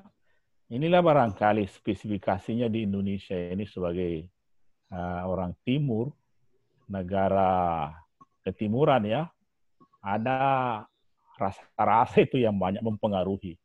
Jadi antara tindakan tegas dengan pembinaan itu bercampur baur. Ya, ini jadi uh, kalau secara normatif ya undang-undangnya sudah tegas. Kalau ada pelanggaran PSBB ya Undang-Undang 6 2018. Kalau perorangan yang melanggar itu maksimal satu tahun dan dendanya itu 100 juta. Tapi kalau itu dilakukan oleh apa namanya kapten pesawat atau nakoda atau pengemudi di darat, uh, apa uh, baik barang pun maupun orang, sementara barang atau orang tersebut berpotensi menyebarkan penularan dan tidak ada persetujuan dari pihak yang berwenang itu ya malah lebih malah lebih lama maksimal 10 tahun dan 100 miliar. Itu normatifnya. Inilah pentingnya tadi itu ah, yang seperti disinggung juga Promo Sakir dilihat dari perspektif sosiologi hukum itu memang kita melihat juga suasana masyarakat kita ya ya ya mungkin faktor apa spesifikasi negara ketimuran kemudian faktor negara baru berkembang sebetulnya kalau mau tegasnya ini kan sebetulnya lockdown yang paling pas sebetulnya. Ya. Ya, lockdown. Tapi karena kemampuan ekonomi, itulah sebabnya itu pemerintah lebih memilih PSBB daripada lockdown. Kenapa kalau lockdown itu berat sekali beban ekonominya karena dia harus tanggung uh, apa logistiknya masyarakat secara penuh. Baik yang kaya yang miskin semua, bukan cuma manusianya yang ditanggung. Binatang-binatang pun, binatang-binatang ternak itu dibiayai juga oleh negara kalau lockdown. Tapi karena kondisi kita tidak tidak cukup kemampuannya untuk itu ya dipakai PSBB. Bukan pelarangan tapi uh, pengendalian. Ini juga sekadar komentar terhadap uh, pertanyaan yang ditujukan ke gua tadi itu ke gua. Jadi bukan pelarangan itu jadi pengendalian. Uh, jadi uh, bisa saja selama uh, memungkinkan misalnya bidang perbankan, kesehatan, toko-toko yang uh, menjual logis logistik, ya boleh bolehkan saja tidak boleh di apa di stop betul ya tapi itu juga memang harus dilihat aturan yang diatur di gua itu apakah seperti itu memang aturannya itu tidak ya, saya sendiri belum pernah baca itu di gua itu uh, saya kira itu dari saya komentar saya Bu Tendri ya. saya kembalikan ya terima kasih Prof atas uh, jawabannya silakan ke, ke, kepada Prof Arvin Ya, terima kasih Bu. Terima kasih semua. Jadi alhamdulillah masih bertahan 250 lebih ini. Setia mengikuti diskusi kita. Karena tidur saja itu pahala. Apalagi ikut diskusi dua jam, wah luar biasa pahalanya. Bagi yang berpuasa. Amin, amin. Amin, ya rabbal alamin. Apalagi narasumber seperti Pak Musakir dengan Quran di Pangeran itu. Ya, luar biasa pahalanya. Nah, ada ada tiga orang yang langsung ke saya, eh, Pak Dr. Marilang, Andi Saiful, dan Amir Mustafa. Jadi eh, eh, di mana ada kesusahan, di situ ada kemudahan. Asasnya adalah al satu tajli taisir. Ya, di mana ada kesulitan, di situ ada kemudahan. Contohnya, Bapak, Bapak, Bapak eh, Dokter Maria sementara diskusi sekarang ini berpuasa. Tiba-tiba sakit sakit sekali, eh, berat sekali. Ya, tidak bisa bertahan. Ya, ada kemudahan. Silakan pergi minum cendol, minum es, buka puasa. Nanti diganti pada saat kedua. Sekarang ini eh, kita dulu taruih. Aduh, kita senang sekali taruih di masjid. Nah, dalam keadaan darurat, tidak aman, kita diminta taruh di rumah. Mudah sekali. Assalamualaikum, Assalamualaikum. Mau minum lagi air putih, minum lagi sambil makan kue lima menit. Tambah lagi dua rakaat sebentar. Nah, setelah dua rakaat lagi bisa istirahat lagi minum ikan. Tertaruh dulu begitu asalnya. Nah, atau bisa sambil masak sambil taruh gitu. Nah, itu. Itu anunya. Bisa tengah malam taruhnya sebelum fajar apa. Itu ada kemudahan. Saya kira itu itu hikmahnya Pak. Ya. Wa in kuntum ala safarin ya, apalagi dalam perjalanan nah, boleh tidak salat Jumat, boleh tidak berpuasa. Boleh jamak kasar, itu kemudahan. Kemudian yang kedua pertanyaan ini agak berat. Bagaimana kekuatan mengingat fatwa MUI? Di Indonesia memang kita harus pilih. Ada ada ada hukum Islam yang normatif, ada hukum Islam yang positif. Hukum Islam yang normatif ini hukum Islam yang asli, Al-Quran As-Sunnah. Kenapa kau sembahyang perintah Al-Quran? Kenapa kau puasa perintah Al-Quran, perintah hadis? Ya, itu asli. Tidak ada campur tangan pihak lain. Siapa yang tertinggi di situ? Ulama. Ulama lah yang mengajari kita berpuasa. Ya, ulama ini banyak ada representasinya. Kalau di Indonesia lebih diwakili oleh majelis ulama. Jadi sebenarnya di Indonesia umat Islam yang paling pantas didengar itu adalah majelis ulama karena representasi dari semua ulama. Eh, Kemenak ada, tapi dia kan pemerintah. Iya. Uh, di bawahnya ada umat, NU. Misalnya kalau mau berpuasa ikuti NU silahkan. Ada Muhammadiyah. Kalau di bawahnya lagi ada kelompok-kelompok ormas lagi, ada majelis taklim, ada ustaz di situ, ikuti situ. Tapi secara nasional, secara Islam yang paling tinggi di Indonesia itu adalah MUI. Pertanyaannya kalau tidak ada MUI siapa yang dengar Pak Marilan? Kan repot. Nah, ini ini ketaatan normatif namanya, ketaatan asasi. Ya. Nah, kemudian ada hukum Islam yang positif, difasilitasi oleh negara. Ya. Fatwa-fatwa MUI yang difasilitasi oleh negara itu banyak.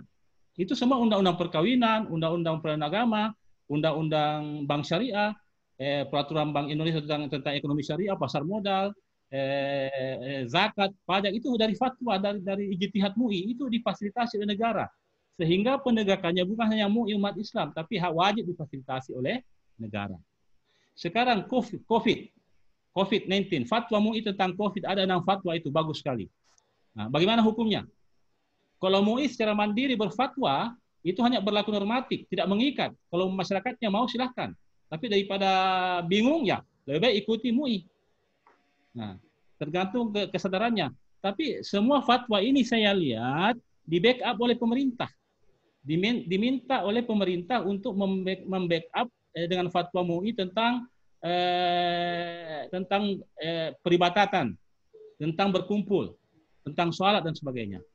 Contoh, itu ada fatwa tentang bagaimana sholatnya yang pakai apa itu yang pakai alat itu, yang pakai karung itu, tinggal matanya kelihatan, rapid test apa namanya itu, pakaian apa namanya itu, pakaian itu. Nah, sementara dia dia bekerja pakaian itu tiba sholat. APD, APD. Ya, APD, ya, APD. Nah, bagaimana fatwa MUI? Itu itu itu eh, kalau dia buka itu lima ratus ribu itu harganya lima ratus ya lima ratus ribu harganya itu sekali pakai gitu. Nah, jadi fatwa eh, fatwa MUI bahwa boleh seperti perang, boleh pakai sepatu sembahyang, diikuti oleh pemerintah. Kemudian fatwa tentang jenazah, pengelolaan jenazah. Sekarang eh, fatwa MUI mengatakan bahwa harus disalati, harus kalau tidak bisa tayamum, harus diini dan sebagainya sesuai prosedur tetap dan diikuti oleh pemerintah, di backup oleh pemerintah. Karena fatwa ini ya saya lihat diminta oleh pemerintah. Sudah ada campur tangan pemerintah. Jadi bukan hanya MUI yang berkepentingan bertanggung tapi juga pemerintah. Nah, saya kira begitu Pak, mudah-mudahan. Jadi kalau tidak ada intervensi pemerintah, fatwa MUI silahkan memilih. Tapi sebaiknya MUI yang diikuti karena representasi dari janganlah eh, fatwa-fatwa Quran itu biasalah. Kecuali biasa-biasa saja. Tapi kalau penting fatwa MUI. Saya kira begitu Pak. Jadi dia bisa mengikat dibantu oleh negara. Andi Saiful. Andi Saiful Pemerintah bisa dilaknat. Saya tanya Anda. Siapa yang bilang itu dan apa kapasitasnya? Coba. Eh. Kalau dia ustaz, ustaz apa? Ahli apa? Eh. Jadi, ya itu harus dipahamkan Mas Andra tugasnya ustaz ini Pak tugasnya ustaz ini menyampaikan yang seperti seperti ini banyak sekali yang pintar seperti itu Pak ya Mentang-mentang sudah tobat, sudah rajin sembahyang, pun dia mau gurui semua orang. Dia mau ceramai semua orang. Ini hadis yang saya baca di mesos ini, ini, ini. Ya, tidak salah tapi ini sangat menyulitkan kita. Saya sudah katakan dalam kondisi darurat tiga orang ini harus didengar. Ulil amri tentang kewenangan wilayah, kewajiban melindungi rakyat. Yang kedua, ahli expert. Apakah yang tadi eh, pemerintah dilaknat kalau tidak salat terawih, tidak salat jamaah, eh, ahli kesehatan? Atau dia ulama besar? Atau dia eh, pemerintah di atasnya bupati, di atasnya presiden? Ya, jadi tolong ini ini sebenarnya ini apa namanya eh, perlu dijawab secara rasional saja. Janganlah begitu. Karena itu hadis mengatakan mayurillahu bihi khairan yufaqihu fidin. Siapa yang dikehendaki oleh Allah kebaikan padanya diberikan pemahaman, bukan keyakinan. Yang tadi itu pemerintah bisa keyakinan saja itu, bukan pemahaman. Ya pahami bagaimana penetapan hukumnya dengan harus ulama ijtihad. Kalau kalau besar harus eh, jama'i, harus apa dan sebagainya ada prosedurnya. Itu betul-betul orang baik, orang ustaz eh, di, di, di anu. Ya. Nah itu. Ya begitu Pak Difadliyah. Tanya dia siapa Anda? Iya. Tanya. Kalau ada lagi yang begitu, saya lebih takut dari Tuhan daripada corona. Tanya dia siapa Anda? Iya. Nah, ketika komunikasi seperti ini tugas ulama ustaz mencerdaskan. Memang banyak yang yakin-yakin saja. Ini merusak. Jadi harus dipahami dengan baik. Dan yang terakhir Amir Mustafa ini dari NREKAM bagus sekali. Bagaimana hukumnya itu eh, bagi masyarakat kampung yang tidak ada pendatangnya, yang tidak ada tidak pernah singgah helikopter, tidak pernah apa, tidak pernah ada tidak ada orang baru, tidak ada TKW-nya, TKI-nya tidak ada, Pokoknya asli di situ. Ya secara fisik kasat mata Tidak mungkinlah ada dengkoro di situ, deng corona di situ. Tidak mungkinlah ada uang COVID di situ. Karena COVID tidak mungkinlah ada di situ. Nah, bagaimana eh, secara akademiknya, secara syariahnya? Kita kembali ke yang tadi. Karena pemerintah bersama MUI sudah menyatakan bahwa Indonesia darurat. Indonesia itu bukan eh, bukan hanya di kota, tapi dari Sabang sampai Maroke, termasuk di daerahnya Bapak di Endreka di sebelah gunung itu. Itu wilayah hukmi namanya. Berlaku hukum darurat.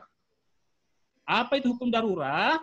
Ya, karena ada ancaman, ada bahaya, maka hukum yang biasanya begitu bisa berubah. Tugas kita Pak jelaskan dia bahwa sekarang ini Indonesia bukan darurat. Apa itu COVID? Baca di internet, lihat di, di, di video di HP. Jadi kalau begitu, eh, ada hukum yang berlaku. Bagi yang mau ikuti itu bahwa bahaya, ya silahkan salat di rumah. Ya, karena ada pahamnya gitu. Daripada kita paksakan dia eh, ke, tidak ke masjid atau dia dibahas di rumah, sementara hatinya was-was. Kok kita sudah ada darurat masih tidak ada apa-apa? Karena itu langkahnya Pak Pak Pak siapa Pak Amir jelaskan di sana bahwa i darurat. Ada ada merah, ada ada kuning, ada hijau. Nah, karena ada lengganya juga. Ya, eh, jangan-jangan nanti Pak Lurahnya sementara salah dia usir karena ada perintahnya itu. Pak Lurah turun anu Pak Desa marah-marah ya itu dibicarakan lah. Bisa disepakati ya kalau begitu kita sepakat saja ikuti yang zona hijau. Iya. Tapi kalau dekat-dekat di sebelah Pak hati-hati Ki eh, sudah zona merah, jangan lagi hijau atau kuning, langsung aja merah. Jadi Pak disepakati. Eh, disepakati. Karena rongga juga, eh, MUI juga memberikan rongga bahwa ada hijau, ada kuning. Tapi kalau di Makassar tidak boleh. Tidak ada kata hijau, tidak ada kata kuning. Ya, harus merah, harus apa namanya, harus lockdown, harus apa, harus tidak, karena ini zona merah kita. Kalau di Indonesia mungkin belum. Ya, saya kira itu Pak. Ini ini sekedar pandangan, supaya ada berkahnya. Eh, bukan segalanya silahkan eh, apalagi Pak ada Pak Amir dari MUI ada Pak Marilang di UIN lagi apa yang saya sampaikan ini saya ingin sekali bahwa fatwa itu harus dijaga Pak jangan sembarangan digunakan ya fatwa tidak sama tausiah tidak sama himbauan edaran silahkan tapi tapi ini tapi fatwa Pak dijaga karena itu adalah legalitas hukum produk hukum yang dijamin oleh hadis ada dasarnya kalau salah dua eh, satu pahala kalau benar dua pahala makanya jangan sembarangan berfatwa. Jangan sembarangan bilang pemerintah akan dilaknat. Wah, luar biasa itu. Iya, ini yang saya sampaikan. Mohon maaf, eh, Bu Tendri, saya, saya rasa saya banyak gunakan waktu. Terima kasih atas pengertiannya. Ya, terima kasih. Adik-adik, para para para ulama, para ahli hukum, ya, hukum Islam, ya. hukum Indonesia, hukum dunia. Terima kasih atas perhatiannya. Bu Tendri. Ya, Prof. Ini ada yang terlupakan. Uh, Silakan, dari Prof ada dari Andi Andi Andi Saiful ya. ya silakan Prof. Ini, ini penting jangan sampai uh, keliru. Ini ini soalnya terkait dengan kajian hukum dan struktur sosial. Uh, yang mempertanyakan bahwa bagaimana Prof melihat masjid-masjid yang tidak mengindahkan PSBB. Padahal itu kan bagian dari peranata sosial atau kultur yang ada di dalam masyarakat begini. Nah, kita kembali kepada teorinya Donald Black bahwa Eh, peranata sosial ya, sebagai bagian dari stratifikasi sosial itu bisa membuat hukum menjadi efektif dan sebaliknya bisa membuat hukum menjadi tidak efektif. Nah, kapan peranata sosial itu mem bisa membuat hukum menjadi efektif? Ketika lembaga institusi-institusi peranata sosial itu melakukan apa yang dikehendaki menurut hukum. Nah, Kapan peranata sosial itu tidak membuat hukum menjadi efektif? Ketika peranata sosial itu menyebabkan pemberlakuan hukum, eh, eh, menyebabkan terjadinya pemberlakuan yang diskriminatif. Diskriminatif, misalnya di dalam masyarakat kita kita ada struktur, ada atasan, ada bawahan. Hukum menyatakan bahwa uh, ketentuan PSBB ini berlaku sama pada atasan, pada bawahan. Nah, kalau terjadi pemberlakuan yang berbeda kepada bawahan ketat kepada atasan tidak ketat, nah ini yang ini yang termasuk uh, pengaruh yang negatif terhadap pemberlakuan. Jadi jangan kita melihat bahwa karena itu adalah peranata sosial yang sudah berakar sehingga itu kita harus pertahankan tidak bisa. Kalau itu bertentangan dengan hukum ya tidak bisa kita harus hindari. Nah, kemudian terakhir dari apalagi namanya saya, saya juga lupa sampaikan Pak Ridwan dari Gorontalo.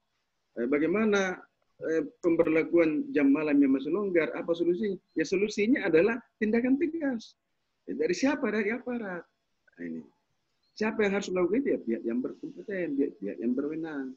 Gitu. Kita ini hanya bisa menyampaikan seperti itu. Kita tidak punya alat paksa.